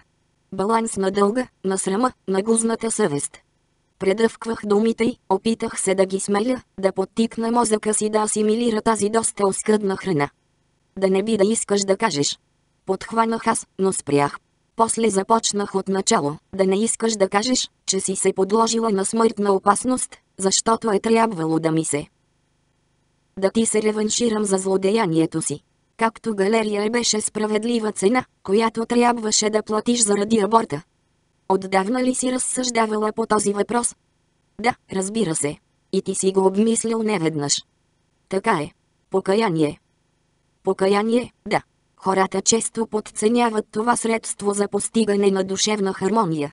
Тя стисна малко по-силно тестисите ми, а аз се помъчих да се отпусна, да се насладя на болката. Вдишах аромата й. Усещането беше приятно, но се питах дали някога ще вдишам мирис, достатъчно силен да притъпи ужасната смрад на човешки екскременти. Дали някога щях да чуя нещо, което да заглуши хренето от надупчените дробове на граф. След като го застрелях, имах чувството, че той ме гледа втренчено с съкрушените си онеправдани очи, докато притисках в коченените пръсти на уве към дръжката и спусъка на узи той към малкия черен пистолет Рорбал, с който застрелях илоте. Дали някога щях да вкуся храна, която да заличи вкуса на мъртвата плът на уве? След като приключих с граф, се надвесих надове и забих кучешките си тила му. Стиснах челюсти и успях да пробия кожата. Устата ми се напълни с вкуса на труп. Не потече почти никаква кръв. С неимоверни усилия потиснах гаденето и избърсах потеклата слюнка. Огледах резултата. Би могъл да мине за охапване от куче, ако следователят търсеше доказателства за това, реших аз. Измъкнах се през отворения прозорец зад леглото на Уве, за да не попадна в обсега на камерата. Бързо се шмугнах в гората, кръстосвах разни пътеки и улици. Поздравявах дружелюбно хората, излезли на разходка. С изкачването въздухът ставаше все по-студен и ми помогна да запазя хладнокръвие, докато стигнах до Греф Сентопен. Там седнах на земята и се загледах в есенните багри, които зимата вече бе започнала да изсмуква от гората под краката ми. Гледах града, фьорда, светлината. Светлината винаги предвещава настъпването на мрака. Усетих как кръвта на хлув пениса ми започна да пулсира. Ела, прошепна тя, долепила устни до ухото ми. Притеглих я в обятията си с последователното усърдие на мъж, който носи отговорността за сериозна работа. Харесва му да я върши, но все пак е работа. И той работи, докато завие сирената. Сирената вие, а тя внимателно закрива ушите му с длани. Той не може да се сдържа повече и излива в отробата и топла, животворна сперма и то не за първи път. А после тя заспива. Той остава буден, заслушан в дишането й и усеща удовлетворение от добре свършената работа. Знае, че никога повече няма да бъде същото, но може да стане подобно, да заживеят сносно, той да се грижи за нея, за тях. Все още е способен да обича. И сякаш това само по себе си не е достатъчно убедително, мъжът намира смисъл, причина да обича в един позабравен спомен за откровение на футболен матч в лондонската мъгла, защото те се нуждаят от мен. Епилог. Първият сняг падна и се стопи. В интернет прочетох, че опцията за покупка и правото да излага картината за лавенето на калидонския глиган са били продадени на търг в Париж. Спечелила го галерия Гети в Лос-Анджелис.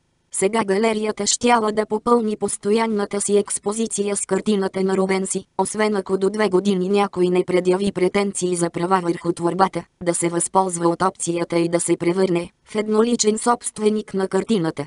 В статията бяха поместени и няколко кратки изречения за происхода на картината. Дълги години се водели спорове дали е копие или оригинал на друг художник, защото никакви източници не били помествали информация за калидонски глиган, рисуван от Рубенс. Сега обаче експертите единодушно установили, че картината е дело именно на прочутия художник. В статията не пишеше нито откъде се е появила картината, нито дали норвежката държава е продавач, нито на каква цена е купена картината. С Диана очаквахме дете и тя осъзна колко трудно ще й бъде сама да организира изложби в галерията. Затова, и след като се посъветва с мен, реши да си намери партньор, който да се занимава с по-практическата страна на нещата, например, с счетоводството, за да може тя да се съсредоточи върху изкуството и художниците. Освен това обявихме къщата за продажба. Единодушно се съгласихме, че предпочитаме детето ни да расте в по-малка къща в околностите на големия град. Вече получих много тлъсто предложение от човек, който веднага видял обявата във вестника и поиска да му покажа къщата още същата вечер. Познах го на секундата. Костюм на Корнелияни и очила в стил голям съм задръстеняк. Е, не е шедьовърът на Увебанк, изкоментира той, след като набързо прелетя над всички стаи, докато аз едва го догонвах. Но ще я купя. Колко искате за нея? Повторих цената, обявена във вестника. Давам още един милион, каза той, и срок да ми отговорите до в други ден. Обещах му да обмисля предложението му и го изпратих до вратата. Подаде ми визитката си.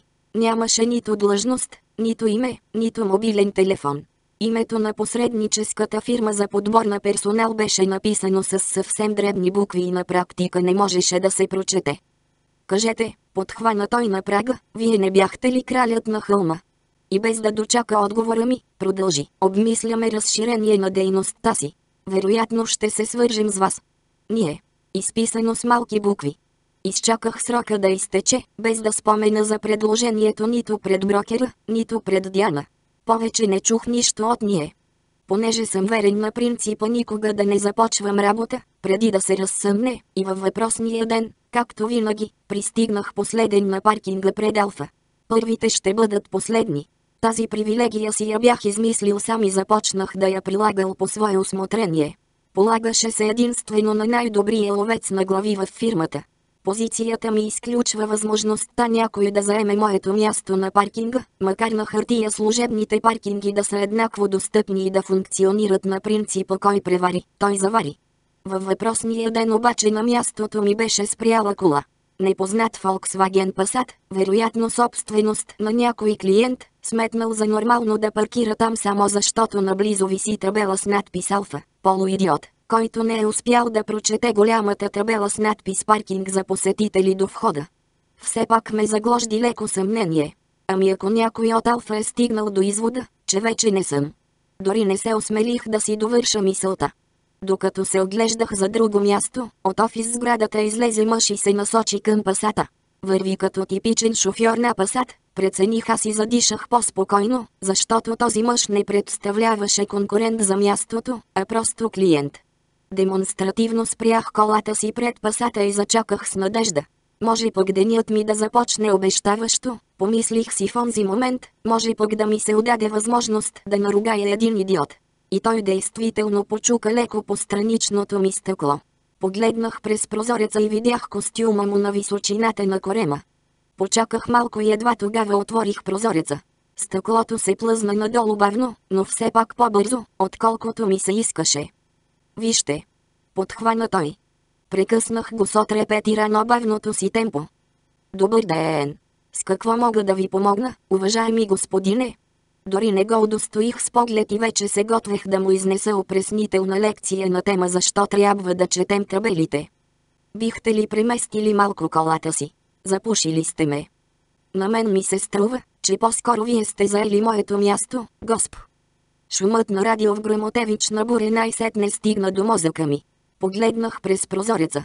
Сърцето ми почти спря да бие. Ще я преместя, разбира се, съгласих се охотно аз. Дайте ми само секунда. Започнах трескаво да търся копчето, за да вдигна прозореца, но фината моторика сякаш се бе изпарила. Почакайте, спряме бредай спере. С вас не се ли познаваме? Съмнявам се, отвърнах и се помъчих да изрека думите с спокоен, отпуснат бас. Сигурен ли сте? Определено съм ви виждал някъде. Мамка му, как е възможно да запомним нимия далечен братовчет на братята Монсен, появил се в института по съдебна медицина? И то при положение, че тогавашната ми версия беше с обръсната глава и облекло на обирджия, а сегашната, с дълга гъста коса, костюм на Ерменеджи от Дзеня и току-що изгладена риза на Борели.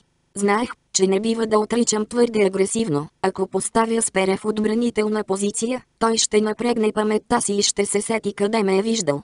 Поех си дълбоко въздух. Чувствах се изморен, по-изморен, отколкото трябваше, защото в този ден се налагаше да покажа най-доброто, на което съм способен, да оправдая някогашната си слава. Кой знае? Окопитих се аз.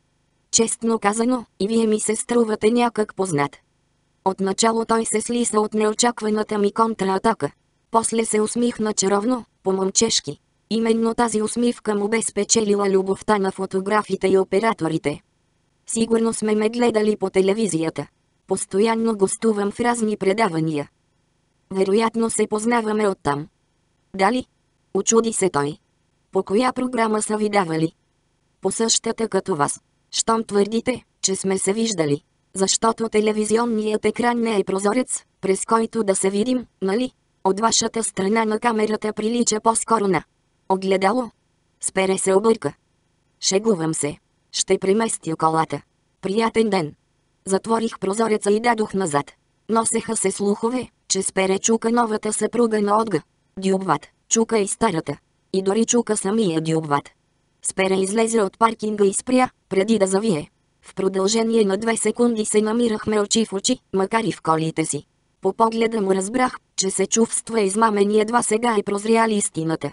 Кимнах му учтиво, настъпих гъста и изчезнах. Погледнах в огледалото за обратно виждане и прошепнах. Само така, Рогер. Влязох в офиса на Алфа и извиках едно оглушително добро утро, Уда. Фердинанд се втурна към мен. Е? Попитах глас. Дойдоха ли? Да, готови са, отвърна той, докато подтичваше зад мен в коридора.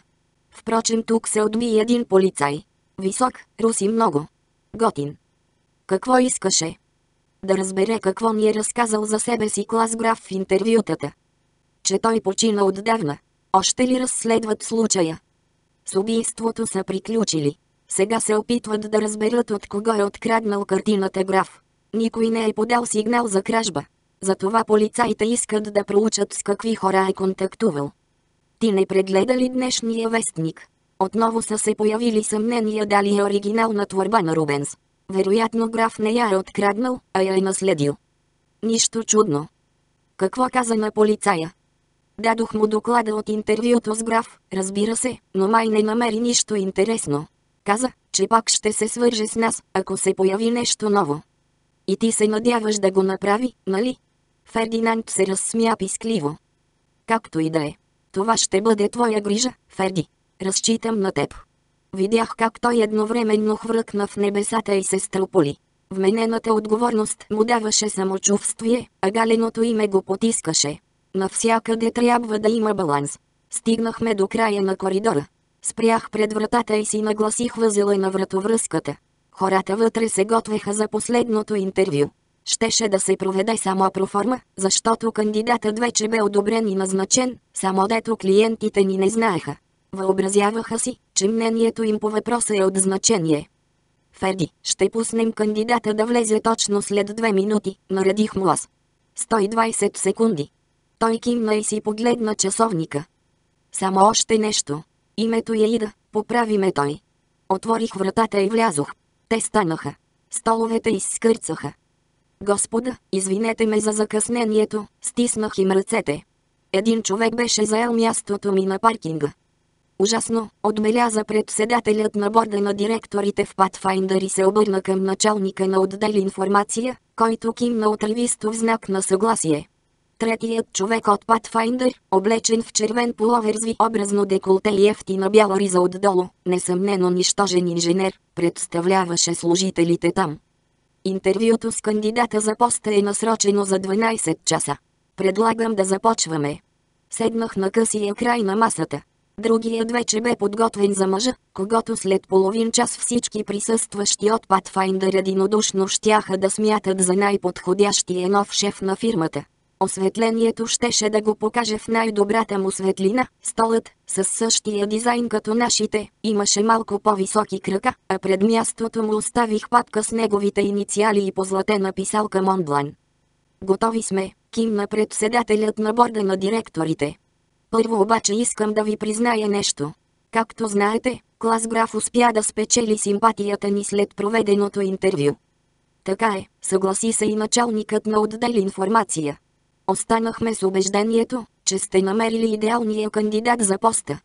Е, той наистина беше чужденец, но говореше норвежки, все едно му е майчин език, отбеляза председателят, а вратът му се извиваше като змия.